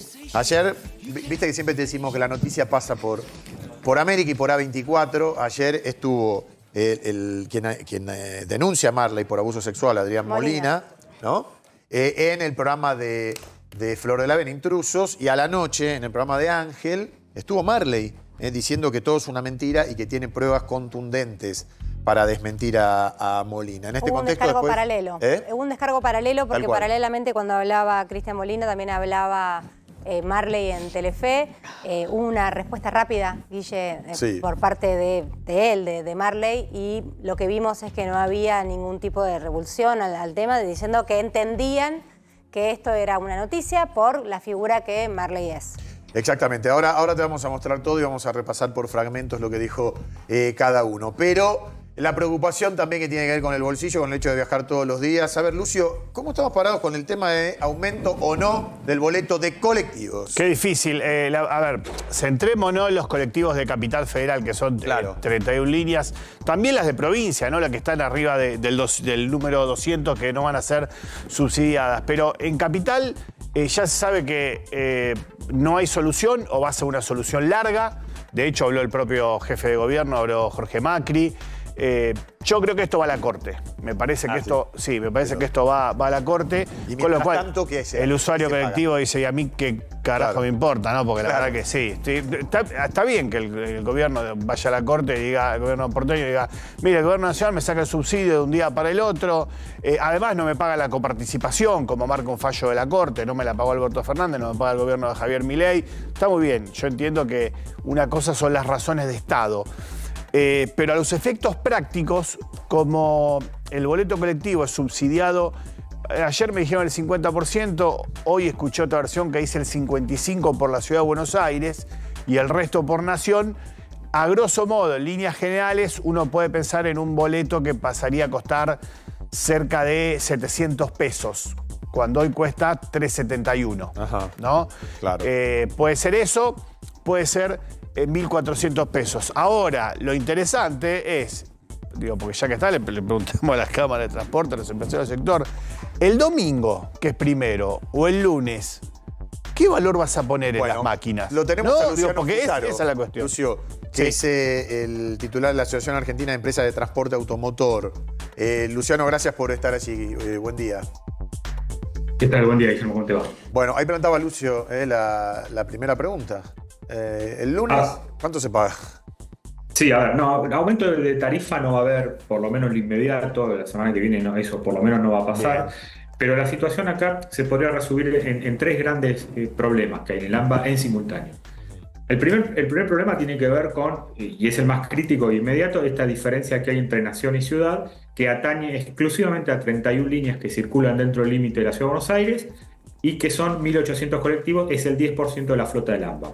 Ahí la nación lo que le dice a la ciudad es, vos tenés que pagar la totalidad de los subsidios, como lo pagan las demás jurisdicciones, y la nación lo que dice, para hacer eso necesito el traspaso de las líneas porque jurídicamente no tengo ningún tipo de Claro. sobre la A ver, eh, Luciano, déjame que te interrumpa allí. Esto, digamos, cuando se traspasó el subte, fue por una ley que salió por la legislatura, una ley nacional. eh, eh, cuando. En, en ese momento creo, creo que era jefe de gobierno Macri, ¿no? Y este, se dio de esta manera. Claro, ahí hubo un traspaso, pasa por la legislatura, se tiene que aceptar el, el- el- Sí. digamos, el, traspaso de las líneas y, ahí ya directamente la ciudad se tiene que hacer cargo todo desde lo jurídico. Pero ¿qué, qué es lo que ocurre? Hoy la ciudad ya viene pagando una parte del subsidio, es decir, la nación le gira el dinero a las empresas del subsidio y después por atrás la ciudad le devuelve a la nación el 55% de ese subsidio. ¿Y qué es lo que le dice la nación? ¿Sabes qué? Ahora me tenés que devolver el 100% de la plata que pongo para que financieramente tu situación sea la misma que el conurbano, donde todas las líneas del conurbano la paga la provincia de Buenos Pero Aires. Ahí, Luciano, bueno, per- está esta perdón, ahí, ahí la pregunta es, entonces, el domingo que es primero o el lunes que es dos, ¿la nación le seguirá girando los subsidios a las empresas y después se los, se, se los reclamará la Ciudad Autónoma de Buenos Aires? ¿O el domingo primero la nación deja de girar los subsidios directamente? Bueno, e- eso, por ejemplo, es una muy buena pregunta. Nosotros hoy no tenemos claro qué es lo que va a ocurrir. No, no lo sabemos, eh, sinceramente. Sí. Y eso es lo que nos preocupa, porque como esto, lo, lo que uno percibe, lo percibe a través de los medios, que hay una tensión que se va incrementando y las empresas lo único que necesitan es, muchachos, ustedes se pueden poner de acuerdo, discutir todo lo que quieran, pero el jueves que viene, por ejemplo, hay que pagar salarios en esas 31 líneas.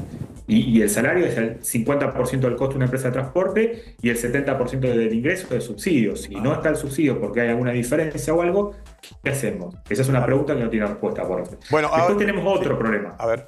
Perdón, ¿eh? Después tenemos otro problema, que eh, todo el AMBA, esta vez todo el AMBA, no solamente ciudad, sino también las nacionales y las provinciales, tiene el ingreso congelado del mes de abril. La última actualización que hubo, que se cubrió con más subsidio, fue en el mes de abril. Después en agosto hubo un aumento de tarifa que se descuenta del subsidio, pero el ingreso de las empresas es el mismo. Había un compromiso de que en este mes se iba a actualizar la cuenta y con todas estas diferencias y peleas no se hizo, con lo cual las empresas siguen teniendo el mismo ingreso, la inflación sigue viajando a un 4% mensual y la capacidad para brindar frecuencias se va reduciendo gradualmente. Por eso también lo estamos advirtiendo que no queremos que esta situación, donde ya se perdió un 5% de la frecuencia el año pasado, se siga agudizando. Ahora, eh, el ministro Caputo le dice a Jorge Macri, eh, no es un tema nacional, es un tema de la ciudad, como lo es de todas las provincias. ¿Esto es así de contundente o hay un, hay un limbo en cuanto a la resolución del tema? A ver, hay algo que es cierto, que hasta eh, por el pacto fiscal del 2018 cada provincia se tenía que hacer cargo de sus propios subsidios, ¿no? De hecho, la provincia de Buenos Aires lo viene pagando y ahí no hay una discusión, lo mismo con, con Santa Fe, etcétera. Ahora, ¿qué es lo que ocurre? En el medio, en el 2020, hubo una pelea entre la nación y la ciudad cuando se produce la quita de coparticipación en, plena pandemia. Entonces, ahí la ciudad que dijo, bueno, no te voy a dar más la parte del subsidio porque vos me estás sacando coparticipación. Después, a fines del 2023, hubo un acuerdo mediante el cual la ciudad le empezó a dar la mitad, por lo menos, del, subsidio. ¿Se dice el 55%, puede ser? Eh, claro, el 55%. Y ahora como nuevamente el tema de la coparticipación está en disputa, no hay acuerdo entre nación y ciudad, el tema de quién paga la totalidad de los servicios vuelve a estar otra vez arriba de la mesa. O sea, dame la coparticipación eh, que, eh, donde llegó hasta la Corte Suprema de Justicia y hay un fallo, que me tenés que dar y yo me banco el subsidio, ¿sería un poco la síntesis? Claro, algo así. Incluso el Jorge, yo lo escuché al jefe de gobierno ayer que dijo que Sería eso y además le tienen que dar el traspaso jurídico como claro. con el subte, que tienen que pasar por la legislatura y todo eso. Por eso, perdón, me parece que dos cosas, ¿no? Eh, hablando de, realidad económica. El traspaso jurídico yo creo que se puede hacer, no creo que sea, eh, no creo que sea muy complicado, pero la verdad, seamos sinceros, si la nación le gira a la ciudad lo que corresponde según fallo de la Corte, probablemente la nación se quede sin superávit fiscal y para la nación, para por, lo menos para este gobierno, el superávit fiscal es un dogma, no, no, no se puede tocar y no lo puedes resignar ni comprometer de, ninguna manera. Con lo cual, la verdad, yo ahí no, veo un punto de acuerdo. Más bien lo que veo es mucho enojo de la ciudad. Eh, y bueno, y no sé si ganas, pero por lo menos siente que la necesidad es escalar la pelea. Sí, a ver, eh, nosotros, te digo, hace tres semanas que estamos mandando notas y pedido de audiencia porque vemos lo que pasa a través de los medios y nos preocupa que se acerca la fecha y, no, no, sabemos qué va a pasar. Nosotros, a ver, nos mantenemos al margen de las cuestiones políticas, simplemente lo que necesitamos es tener los recursos para que los colectivos salgan a trabajar. Luciano, los, comunicados de la Secretaría de Transporte son tajantes. Eh, te, lo leo si, hace falta, digo, pero los, comunicados son eh, tajantes. El último comunicado Dice, el Gobierno Nacional mantendrá resueltas las líneas de jurisdicción nacional. Eh, bueno, eso sí. Eh, la línea colectivo de jurisdicción nacional de los trenes. Este, debido a que el Estado Nacional subsidia únicamente con tarifa social los transportes jurisdiccionales, el Gobierno de la Provincia de Buenos Aires no puede exigir privilegios y menos tener una acción que se asocie al ventajismo político. Se apunta a que los recursos se distribuyan de forma equitativa en todas las provincias del país, es decir, no reparte de forma equitativa, no reparte ningún recurso excepto que la línea sea interjurisdiccional.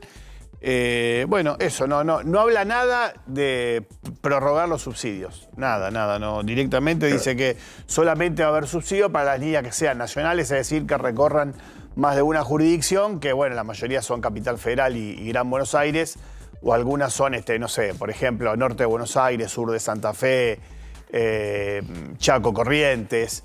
Eh, pero la mayoría son acá. Con lo cual digo, el último comunicado, y te digo cuándo fue, fue esta semana, fue el lunes. El último comunicado de la Secretaría de Transporte es tajante, no, no, habla nada de prorrogar los subsidios.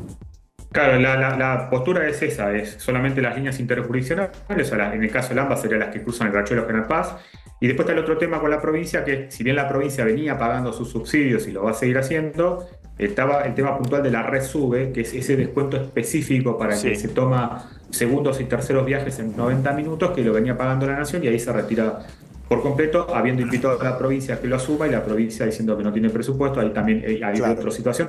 Pero en ese caso puntual afecta no a la empresa, sino directamente al usuario que se toma más de dos colectivos y ahí sí tendría que pagar un poquito más. Entonces, Luciano, para eh, hacer una apreciación eh, eh, global de todo esto, el lunes, no es que esto se miente, el lunes va a seguir la cosa como está.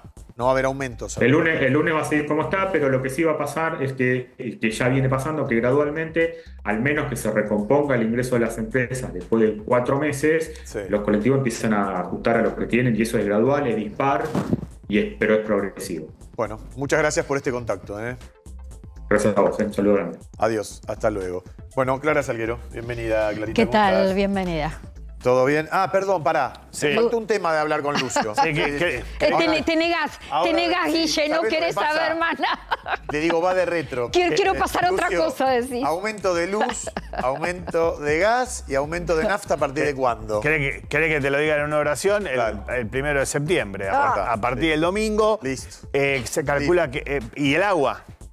Y el agua. La- el agua que La luz y el gas se calcula entre 4 y 5%, el agua va a ser algo más, y combustible se habla de un 2,5%. Esto es como, eh, no sé, cuando ustedes todavía est- eh, están en el cumplemés, en la fecha de aniversario de Sí, novio, por de boda, o en el año. Pues, bueno, yo, por supuesto. yo a esta altura son 25 años. El día a día. En el año. Hay que seguir festejando, Claro, Lucio. Pero viste que antes uno esperaba el principio de mes con cierta expectativa, ¿no?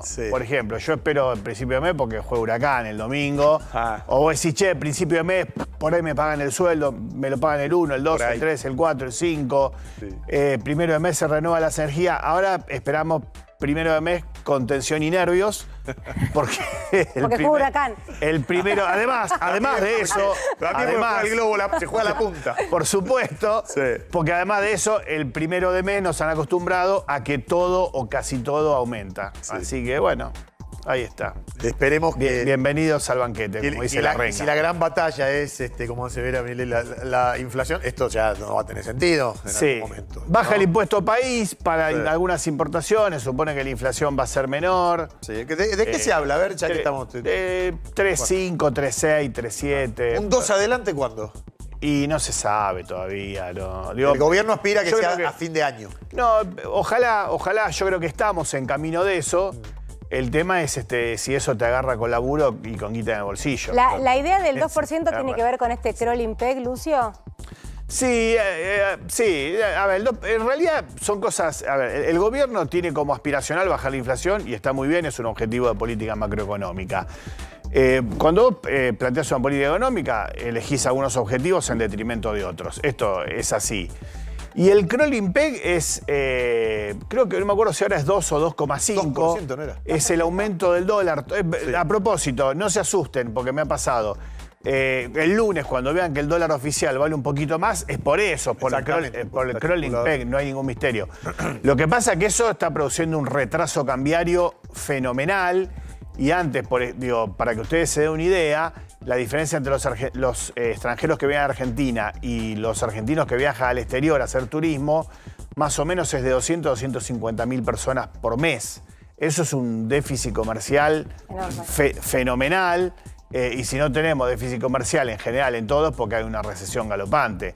Eh, pero bueno, sí, eh, quiero decir, está bien que baje la inflación, por supuesto. Que, ¿Cómo no está bien que baje la inflación? El tema es que venga acompañada de que haya trabajo y plata en el bolsillo. Seguro, Y Por ahora esa Bueno. te la deben y nos la deben a todos. Paso a paso, diría el filósofo Mostaza Merlo. Exacto. Ahora sí, Clarita, ¿cómo estás? Ahora sí, bien, bien? bien. Bueno, bien. salvo Con- por lo que pasó ayer Sí. con esta manifestación que hubo eh, frente al Congreso de Jubilados, Trabajadores y grupos de izquierda también que estaban allí asusando como, como siempre y en donde se aplicó el, el protocolo Bullrich. Sí, vos sabés que mm, a mí me gustaría de alguna manera remarcar algo. Lo primero que pensé cuando vi estas imágenes es que antes de estas imágenes pasaron otras cosas. Pasaron que los jubilados tengan que salir eh, a reclamar como pueden, porque les cuesta tener capacidad de concentración, de hacer movilizaciones, llegaron a la situación de decir no nos alcanza la plata. Ahora, ¿no nos alcanza la plata desde ayer? No les alcanza la plata. Desde hace muchísimas décadas y la responsabilidad es de todos los gobiernos de las últimas décadas que permanentemente, ¿qué decíamos a principio de semana? ¿Qué hablábamos con Angie también? El tema de los presidentes diciendo, y a mí me gustaría solucionar el tema de los jubilados. Yo reconozco que no les alcanza, pero no hay plata. Claro, lo que pasa es que acá se suma también el veto del presidente Milei a la ley de movilidad jubilatoria. Guille. Y que se liberaron los precios, que ya Claro. no hay A subsidios ver, y se liberaron los precios. Entre, entre la ley de movilidad sancionada y el veto total o parcial del Poder Ejecutivo. Total, me parece que está confirmado. Bueno, total. total, ya está confirmado el total, tenés razón. Le dicen casi total, es total. ¿Cuál es el Ahora, aumento? ¿qué, qué camino? De, ¿Cuánto hay desde la ley de movilidad sancionada y el veto, que es la gran discusión? 13.100 pesos. 13.100 pesos es lo que mejora el haber. Es decir, no, no, no hay forma de entender qué discuten oficialismo y oposición en el Congreso de la Nación. Bueno, sí, en realidad se entiende, Clara, lo que están discutiendo Sí, es su batalla, fiscal. discutir su propia Es- es batalla. tocar el Claro. superávit fiscal, que es uno de los triunfos de este gobierno. Claro, pero ¿sabés lo que pasa? Que ya nos hablaban de lograr. El superávit fiscal no nos decían, en otros gobiernos nos decían, hay déficit, no se puede. Y en los otros gobiernos, hay déficit, no se puede. Por el déficit y porque no se podía, Cristina Fernández en el 2010, estamos hablando de 14 años atrás, vetó el 82% móvil.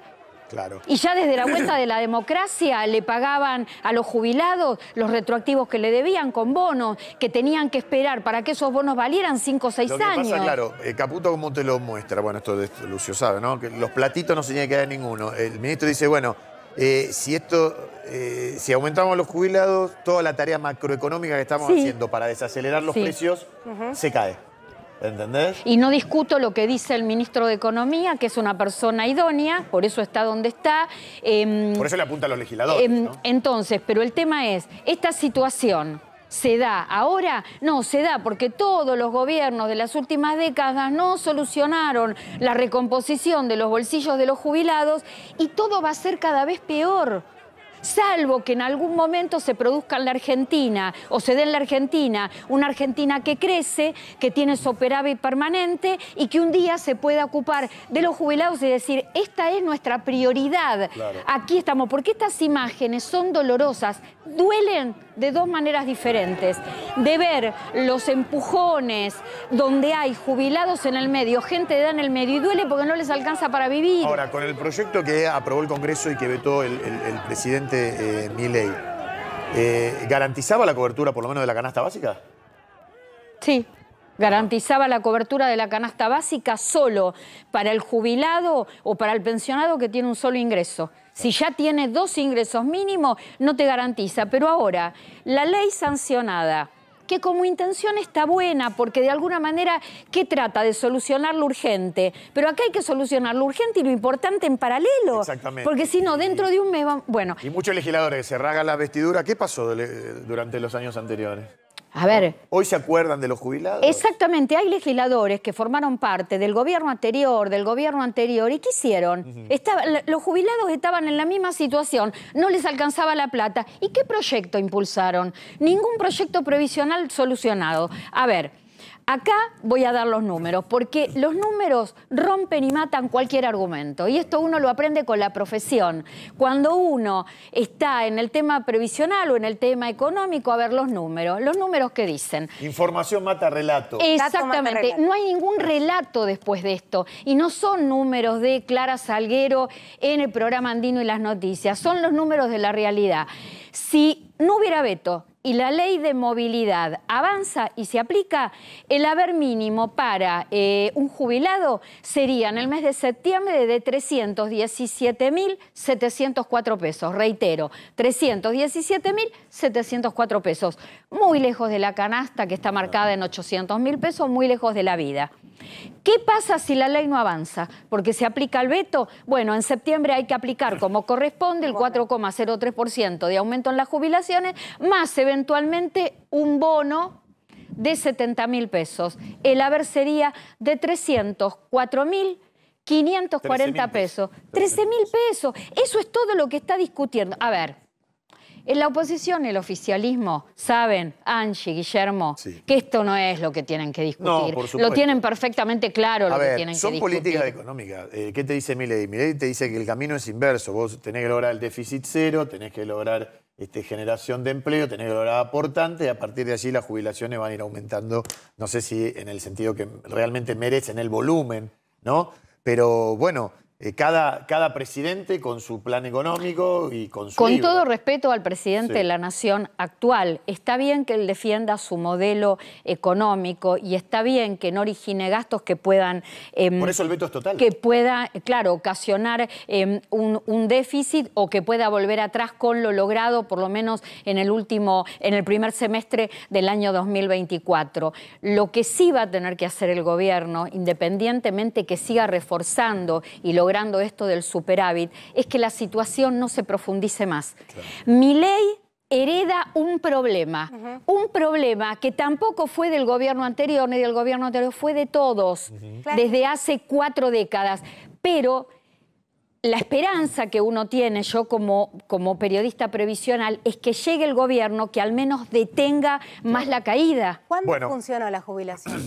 ¿Cómo? ¿En el gobierno de quién fue satisfactorio el precio? No, funcionó un poquito mejor en los periodos donde no hubo tanta inflación, alta inflación, más o menos. Pero la verdad que los jubilados... ¿Vos decís de Alfonsín para acá? Sí, digo, Siempre ¿cuándo- estuvieron pero mal. ¿Cuándo no Claro. fue un problema cobrar Siempre una fue un jubilación? problema. ¿Cuándo alcanzó? Siempre fue un problema. Aparte A hay ver, una te puedo cosa. decir, no, el- el- el- durante, no sé, te, te digo, durante el gobierno de Ilia, que el país crecía al 9% este, anual, eh, ahí recuerdo que eh, por las estadísticas la, la jubilación alcanzaba. Claro, y aparte O sea, que me había... hable alguien que cobra- Había más empleados Había para pagar. más empleados, Exacto, menos expectativa de vida, era menos el tiempo que uno tenía que pagar Te doy un ejemplo jubilación. me acuerdo ahora. pero en esos años la realidad era otra. Después vino el deterioro del trabajo, eh. Eh, em, gente viviendo más años, más tiempo, y además las leyes de movilidad jubilatoria que hay en la Argentina desde el año 2009, está bien, le dieron como una prolijidad a la situación. Los jubilados empezaron a tener actualizaciones por ley, que eso está bien, por eso hay que previsibilidad. destacar sacarlo. Eso, las leyes de movilidad que empezaron en el año eh, 2009 con Cristina Fernández de Kirchner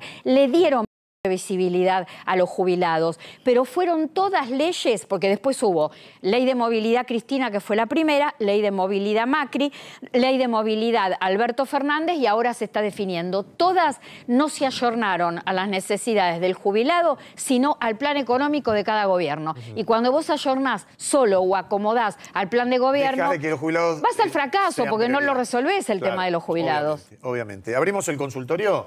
Eh, vamos con preguntas para Clarita. La primera de ellas, eh, esta consulta.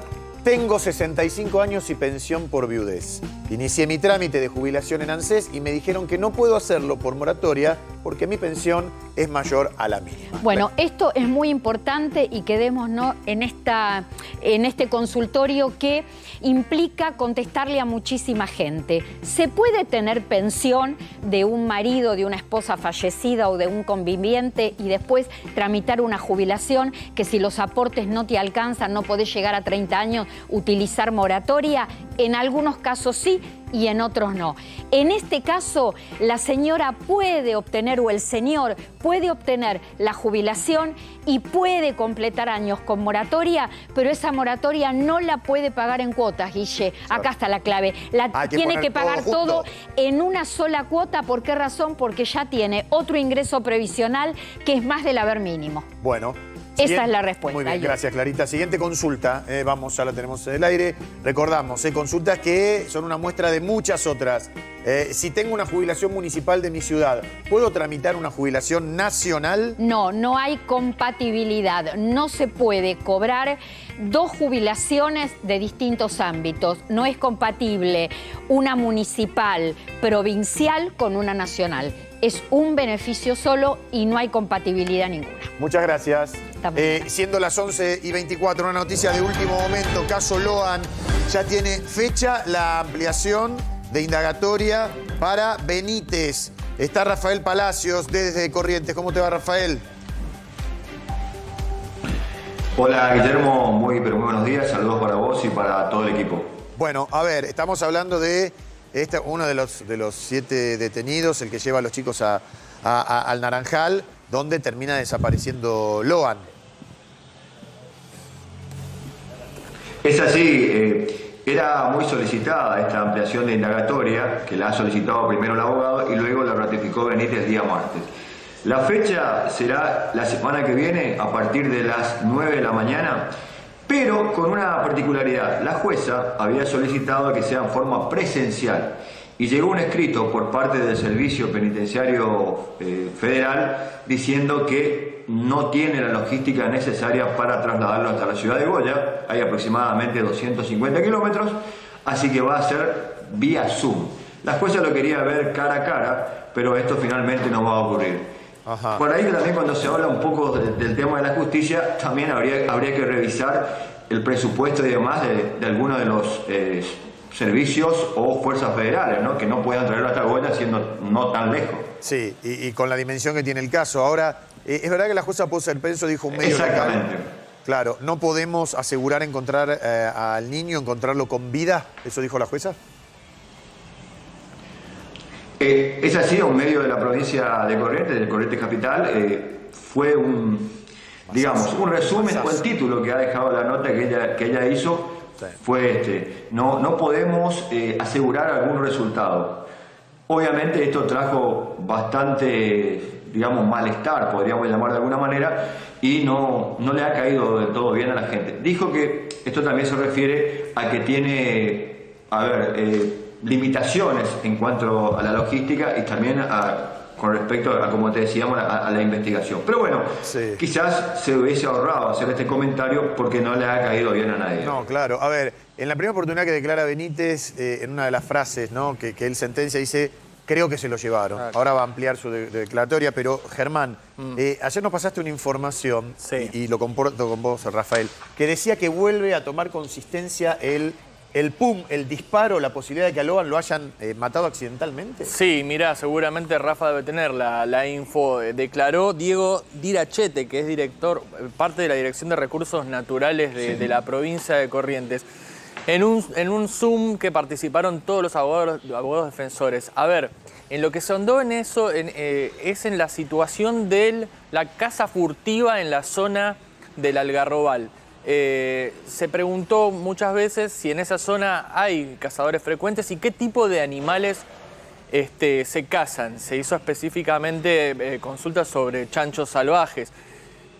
Ah, surge de, de ese expediente, o por lo menos me decía uno de los letrados que representa a uno de los detenidos, que hay un vecino que a las 19 horas del mismo 13 de junio escuchó gritos de un chico en el monte. Esto se suma a la declaración de uno de los hijos de la Adelina que decía que eh, había escuchado un pum.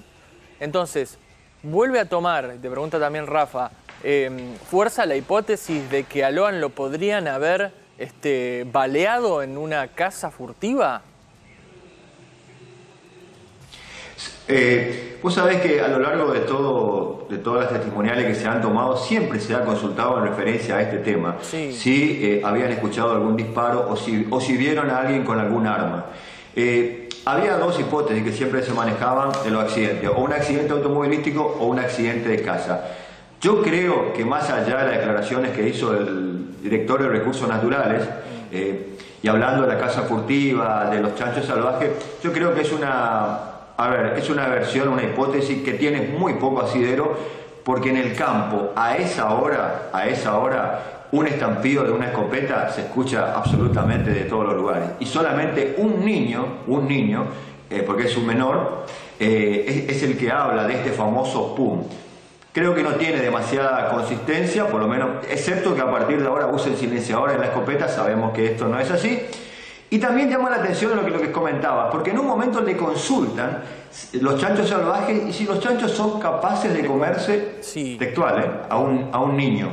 Lo hizo la, la doctora Chiribín, le preguntó, eh, porque, a ver, acordamos que la, la ministra de Seguridad, Patricia Burlich, había dicho al principio que iba a ir con georradares para ver la- la- la- el vientre de los animales.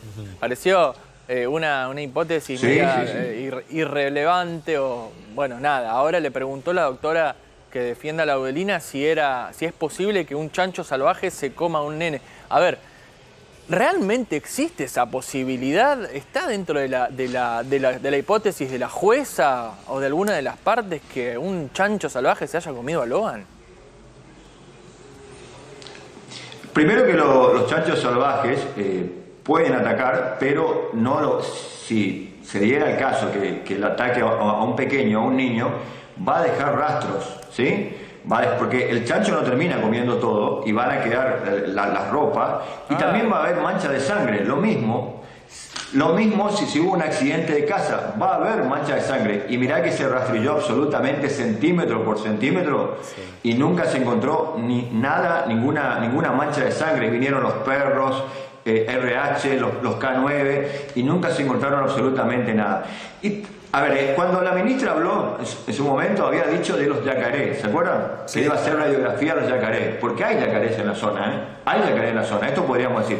El único animal que puede llegar a comer, digamos, a una persona de, con textura pequeña es el yacaré y no dejar ningún tipo de rastro. Es el único, pero es muy difícil que esto ocurra. Es muy difícil que esto ocurra. Pero un chancho salvaje, no. Esto descartamos en absoluto y son, son situaciones que van desviando la causa nuevamente. Y aparece el director de recursos naturales haciendo este tipo de comentarios que en realidad no suman absolutamente para mí para nada. ¿Y querés que te diga más? Hay como un- unos medios de comunicación y también, voy a decirlo, las fuerzas federales que siguen planteando la hipótesis de que hubo un accidente para que no quede en evidencia quizás la negligencia a la hora de realizar todo lo que se hizo hasta el día de hoy.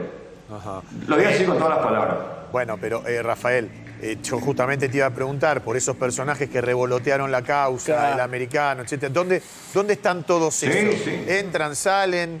eh, ¿Qué pasa con esa gente? Porque seguimos teniendo los mismos siete detenidos, la misma sospecha y la misma incertidumbre. Eh, Déjame, Guille, de preguntarle, porque se trascendieron declaraciones de Camila, la hija de, de Laudelina, que dijo que seguramente se lo van a preguntar a sí, Benítez sí, ahora, sí. que a Codazzi se lo presenta eh, Benítez a Laudelina. Eh, te, te llegó esa info también? Estos personajes que han aparecido que no están la- involucrados. la cuestión Eh. La, la cuestión fue así, eh, Codazzi se presentó primero para ser el, el abogado de Antonio Benítez. Lo encontró en la comisaría y, habló con él. Él le dijo que tenía que arreglar con Laudelina la cuestión de dinero y ahí recién él se va hasta el 9 de julio, le pasa el teléfono y en un momento hace un contacto y bueno, y se fijan para encontrarse en, en 9 de julio, el de esquina va a 9 de julio y bueno, ahí, ahí tienen la primera conversación con Laudelina. Esto lo, dice Codazzi, esto también lo afirma Laudelina. Y con relación a, a lo que decía Camila, te comento que eh, los abogados, eh, dos abogados eh, defensores, tanto el doctor Marcelo Hanson como así también el doctor Jorge Monte, Monti, han solicitado a la jueza que la cita a declarar en forma urgente a Camila por los dichos vertidos ayer en un medio de comunicación que creen que son muy relevantes a la causa. Sí, yo no entiendo por Así qué que piden, no- la- piden no también... declaran, o, eh, salen a hablar en, en medios, dan información que también otra vez eh, se suman a la causa, información nueva, eh, que, que solamente en ámbitos mediáticos, pero la jueza cita a declarar al director de recursos naturales que plantea la hipótesis de, de un chancho salvaje. Entonces, ¿qué está pasando? Es la pregunta. ¿Por qué tanta... ¿Quién está tapando? ¿Por qué tanta lupa Ah, en algo sí. que no digo un sinsentido? Puede tener algún grado de fidedigno, pero. Y no en esto que dice Germán. Cuando hay declaraciones, voy a decir, la agarra de la pestaña y dice, venga acá. Una declaración testimonial. Sí, eh, y recordamos que en alguna oportunidad eh, se lo hizo con celeridad, como Seferina Noguera, como Julieta, que en un momento también hizo una nota en la Plaza 9 de Julio y la, citaron. Pero por eso, ayer dio alguna informa- algunos datos Camila que consideran relevantes, porque ella dijo que se acercaron dos personas de alguna manera para una especie de apriete para que ella cambie la versión. Estas personas estarían identificadas y también en algún momento estas personas también acudieron a hablar con la abuela con eh, Catalina, entre otros, y estarían identificados, pero Camila dice que tiene miedo y ella también habló de una reconstrucción que hizo el día domingo. Cada vez se complica más este tema, la verdad que todos los días eh, nos levantamos con una nueva situación, pero lo importante, y volviendo al principio, es lo de Benítez en la semana que viene. ¿Qué es lo que tiene que dilucidar fundamentalmente Benítez y lo que seguramente le van a consultar? Son algunas cuestiones. Primero, ¿por qué él lo llevó al naranjal a los niños? Ese fue por delante. Siempre utilizó la excusa de ir a buscar naranjas. Llevó una bolsa arpillera para las mismas. Cuando llegan al lugar, se encuentra, y esto lo dice Ramírez, le dice, pero ¿para qué me trajiste hasta acá si prácticamente no había naranjas en naranjal? O sea, muy sospechosa esta actitud, alcanza a recoger algunas naranjas. Segundo punto, ¿cuál es? Él le da una naranja a Logan, le pela, y Logan en ese momento dice, me quiero volver con mi padre. Cuando dice esto, eh, Benítez le da la naranja pelada y le da una naranja para el padre. Y Loa vuelve, no por el mismo camino que habían ido, sino por un camino paralelo. Benítez sabía que Loa se había, ido porque lo, había comentado él. Se levantan todos y están regresando por el camino que habían entrado, por el sendero principal, y en un momento Millapi cuenta a los niños, ve que falta uno. Dice, falta un niño. Mira, dice, es tu sobrino, Antonio. Benítez dice, ah, sí, se perdió Loa. Falta Loan. Y, y, Benítez vuelve a Naranjal cuando él ya sabía que Loan estaba regresando a la casa por el otro lado. O sea, ahí, también incurre en una contradicción. Y ahí hace un llamado a la Laudelina que no se alcanza a concretar, pero es una llamada perdida. Sería la señal, según alguna hipótesis, para que la Laudelina sepa, no fue, no, no alcanzó a, o sea, la llamada llegó y se cortó. Laudelina raudamente va hacia el encuentro del lugar por donde venía Loan, que no era el mismo donde venían todos los otros. Y algunos especulan que Laudelina fue rápidamente para interceptarlo a Loan antes que llegue a la casa de la abuela Catalina. Después Benítez regresa y a partir de ahí se va hacia un lugar muy extraño y, estas son las dudas que seguramente tendrá que contestar o que o por lo menos están viendo en la justicia que ven las contradicciones de Benítez, que seguramente tiene mucho que ver y mucho que contar en esta, en esta nueva indagatoria. Lo que sí avanza, déjame decirte, Guille, y ahí sí avanza la justicia, una querella criminal que presentó el, el gobernador Gustavo Valdés al titular de la Alameda, a Gustavo Vera, porque lo vinculó, entre otras cosas, con una red de trata y habló de Codazzi, habló del diputado Pellegrini, eh, que los vinculó directamente con el Poder Ejecutivo ¿Pero había algún indicio consistente, alguna, algo? A ver, lo virtió Gustavo Vera en expresiones televisivas que hoy tienen un correlato en una querella criminal que, va, que ya avanza, porque ya tienen fecha ya de las primeras audiencias. Eh, sí avanza la justicia de Corrientes en, la querella que hizo el gobernador, pero está un poco lenta en el avance de la, causa Logan. Vos, eh, periodista ya local, ¿cómo, cómo ves esa, esta denuncia que hizo el gobernador? Cómo no, eh, esto arranca con una denuncia en primer término de Gustavo Vera, que lo hizo tanto en el juzgado federal como así también en, el, la Fiscalía Federal, en ambos lugares se han presentado. Es una denuncia por encubrimiento eh, en el cual implica al gobernador Gustavo Valdés, al, ministro, al ex ministro de Seguridad, a Buenaventura Duarte, al jefe de la policía de la provincia de Corrientes, Alfredo Molina, también al Roque Nicolás Báez, el, ex jefe de la Unidad Regional 2, al actual ministro de Seguridad, Hugo Vallejos, a todos ellos, por encubrimiento. Esto lo realizó en primer término Gustavo Vera. A raíz de esto y los dichos del medio televisivo, le hace una contradenuncia el gobernador de la provincia de Corrientes, eh, Gustavo Valdés. El día 4 de septiembre va a haber una audiencia de conciliación en Corrientes. Esta es la última medida que ha salido. Y a esta hora también está presentando otra denuncia en Corrientes Capital, Gustavo Vera. A partir de las 11 de la mañana lo iba a hacer en el juzgado de instrucción número 4, cito en la calle Carlos Pellegrini 1025 de la capital de nuestra provincia. Así que continúan, continúan las situaciones entre Gustavo Vera y el gobernador Gustavo Valdés. Bueno, eh, Rafael, muchas gracias. Como siempre, esperemos también que esta eh, amnesia temporal que tuvo Benítez eh, en la declaración, en la ampliación de, indagatoria, pueda aportar algún dato importante a, a la causa. Eh, nos estaremos comunicando mañana, si te parece. ¿Sabes qué, Guillermo? Sí, dale, cerrámelo, por favor. ¿Sabes qué, Guillermo? lo que te decía de Benítez, esos tres puntos o cuatro son fundamentales para esclarecer el hecho. Es, son claves. Eh, Guillermo, mañana entonces, saludos para vos, para todo el equipo, nos volvemos a encontrar. Gracias, Rafael Palacios, eh, desde Goya. 11 y 39, tenemos que hacer la última pausa, no se vayan.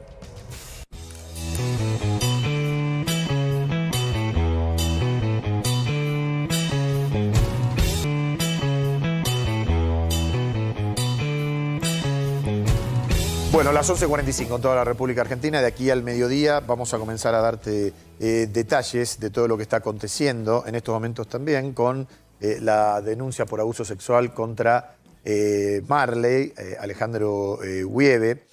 A partir de lo cual, lo, primero que tenemos que decir es que su denunciante, Adrián Molina, tenía que presentarse al mediodía en la Fiscalía de Avenida Corrientes al 1300, donde estamos trabajando en vivo. Y, como te contaba al principio, mucho de lo más importante, o sea, el testimonio de cada uno de ellos, eh, pasó en programas de este canal. Eh, estuvo Marley eh, a la noche con- en el programa de Ángel diciendo que tiene pruebas fehacientes para demostrar que todo es mentira. Y estuvo Adrián Molina eh, en, en un principio en el programa de, de Flor de la B, en Intrusos, eh, afirmando que esto no es una eh, vendetta. Escuchemos al denunciante. Esa persona, cuando mi mamá estaba falleciendo, fue la única persona de alcance que yo conocía en la Argentina para que pudiera ayudar a mi mamá que no fuera transferida de una clínica a otra por no tener una eh, obra social, no sé cómo se dice en este momento. Y él contactó a una persona del Ministro de Educación que facilitó que se haga una medida cautelar en mi mamá. Todo eso es legal, lo pueden buscar. Un amigo no tiene sexo con otro amigo. O sea que a, a través de los años siguieron en, siguieron en contacto. Y esto, esto, esto que me contaba él, lo de tu mamá, es cierto también. Entonces, Claro. que vos te comunicaste con él. Y después, otra cosa que me dijo también, que voy a aprovechar para, para decírtelo, es que hace un año vos lo llamaste, te comunicaste con él para pedirle dinero. No es correcto. Eso es mentira. Es mentira. Bueno, y después de eso dijo que lo estarías, eh, lo empezaste como a extorsionar, a decirle que si él no te daba plata, vos ibas a ir con programas de espectáculo a contar lo que él te hizo. Yo quería tener una conversación con él porque al igual que todas las personas que están mirando del otro lado, cuando salió la noticia, Sí.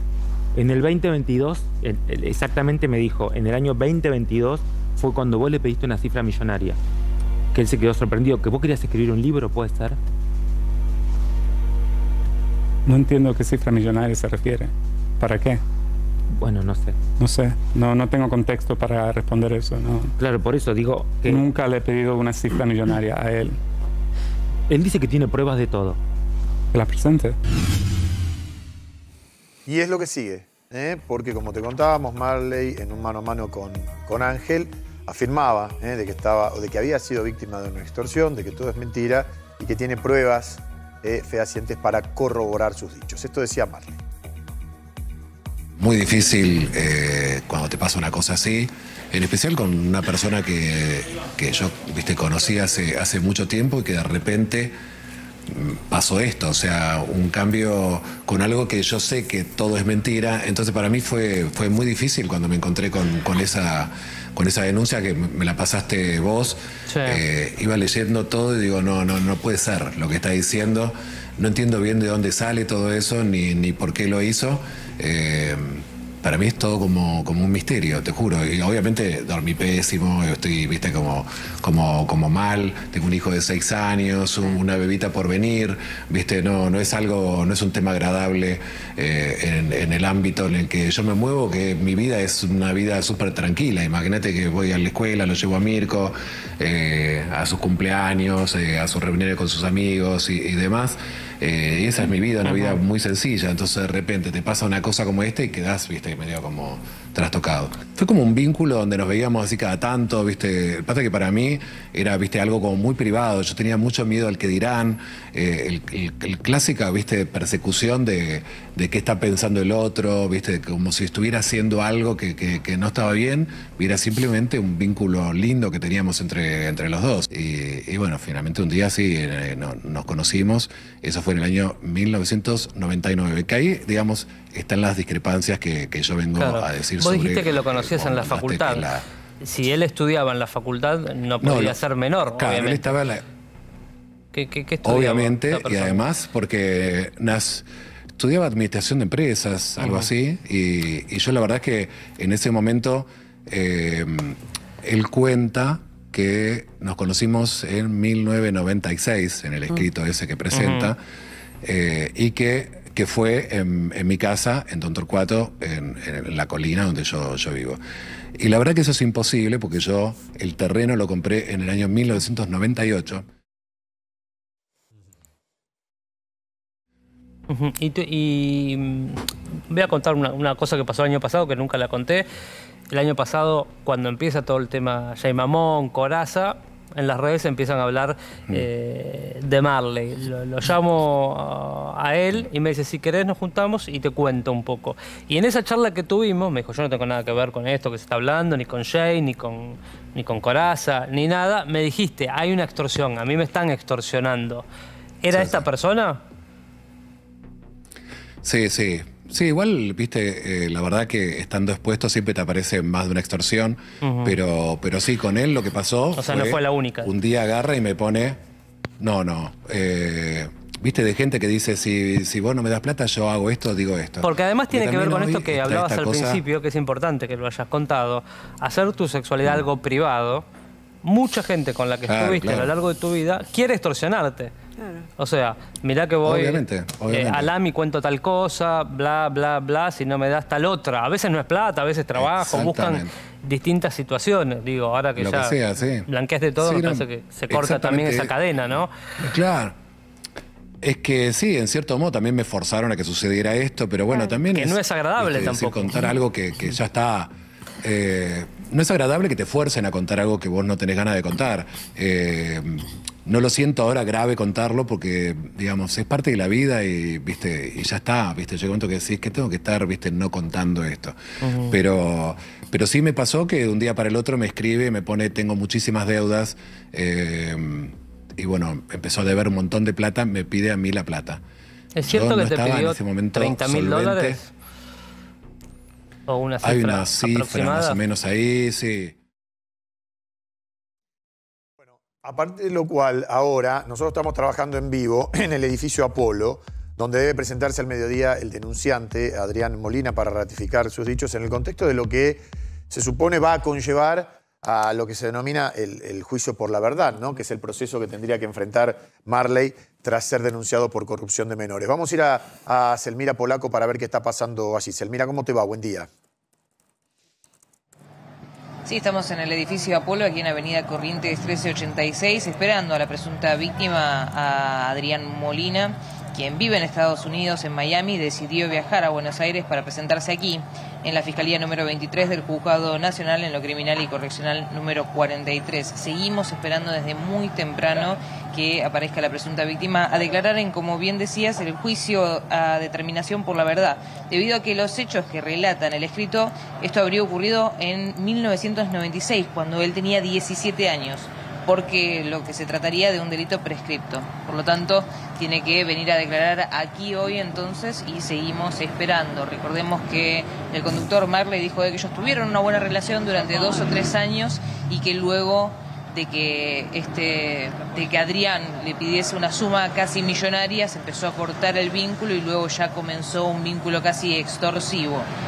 Claro. Esto también se suma a las últimas denuncias de un hombre de Paraná que denunció al conductor a Marley también por abuso sexual. Si bien Martín Apolo, también el, el abogado de Adrián Molina, salió a declarar que esta persona, denunciante de Paraná, vive en París y no era menor de edad, pero tenía 18, 18 años y denuncia también a Marley por abuso. Eso es una denuncia más que se le suma al conductor en el día de hoy. A ver, eh, Marley eh, dijo que esta acusación es falsa y además eh, él sí se, se demuestra también este, apto para enfrentar este, este juicio por la verdad.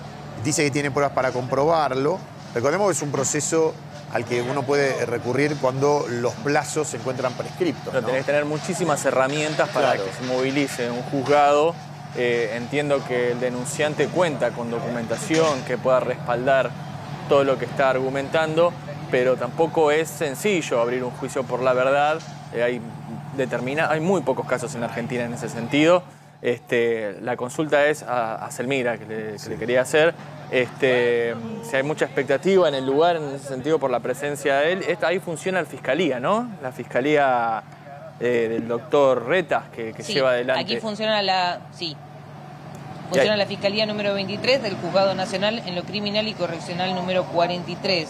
Está aquí en Avenida Corrientes 386, donde trabaja el fiscal doctor Marcelo Martín Retes. Claro, lo que, Así lo- que aquí es donde se tiene que presentar Adrián Molina, sí. Lo que.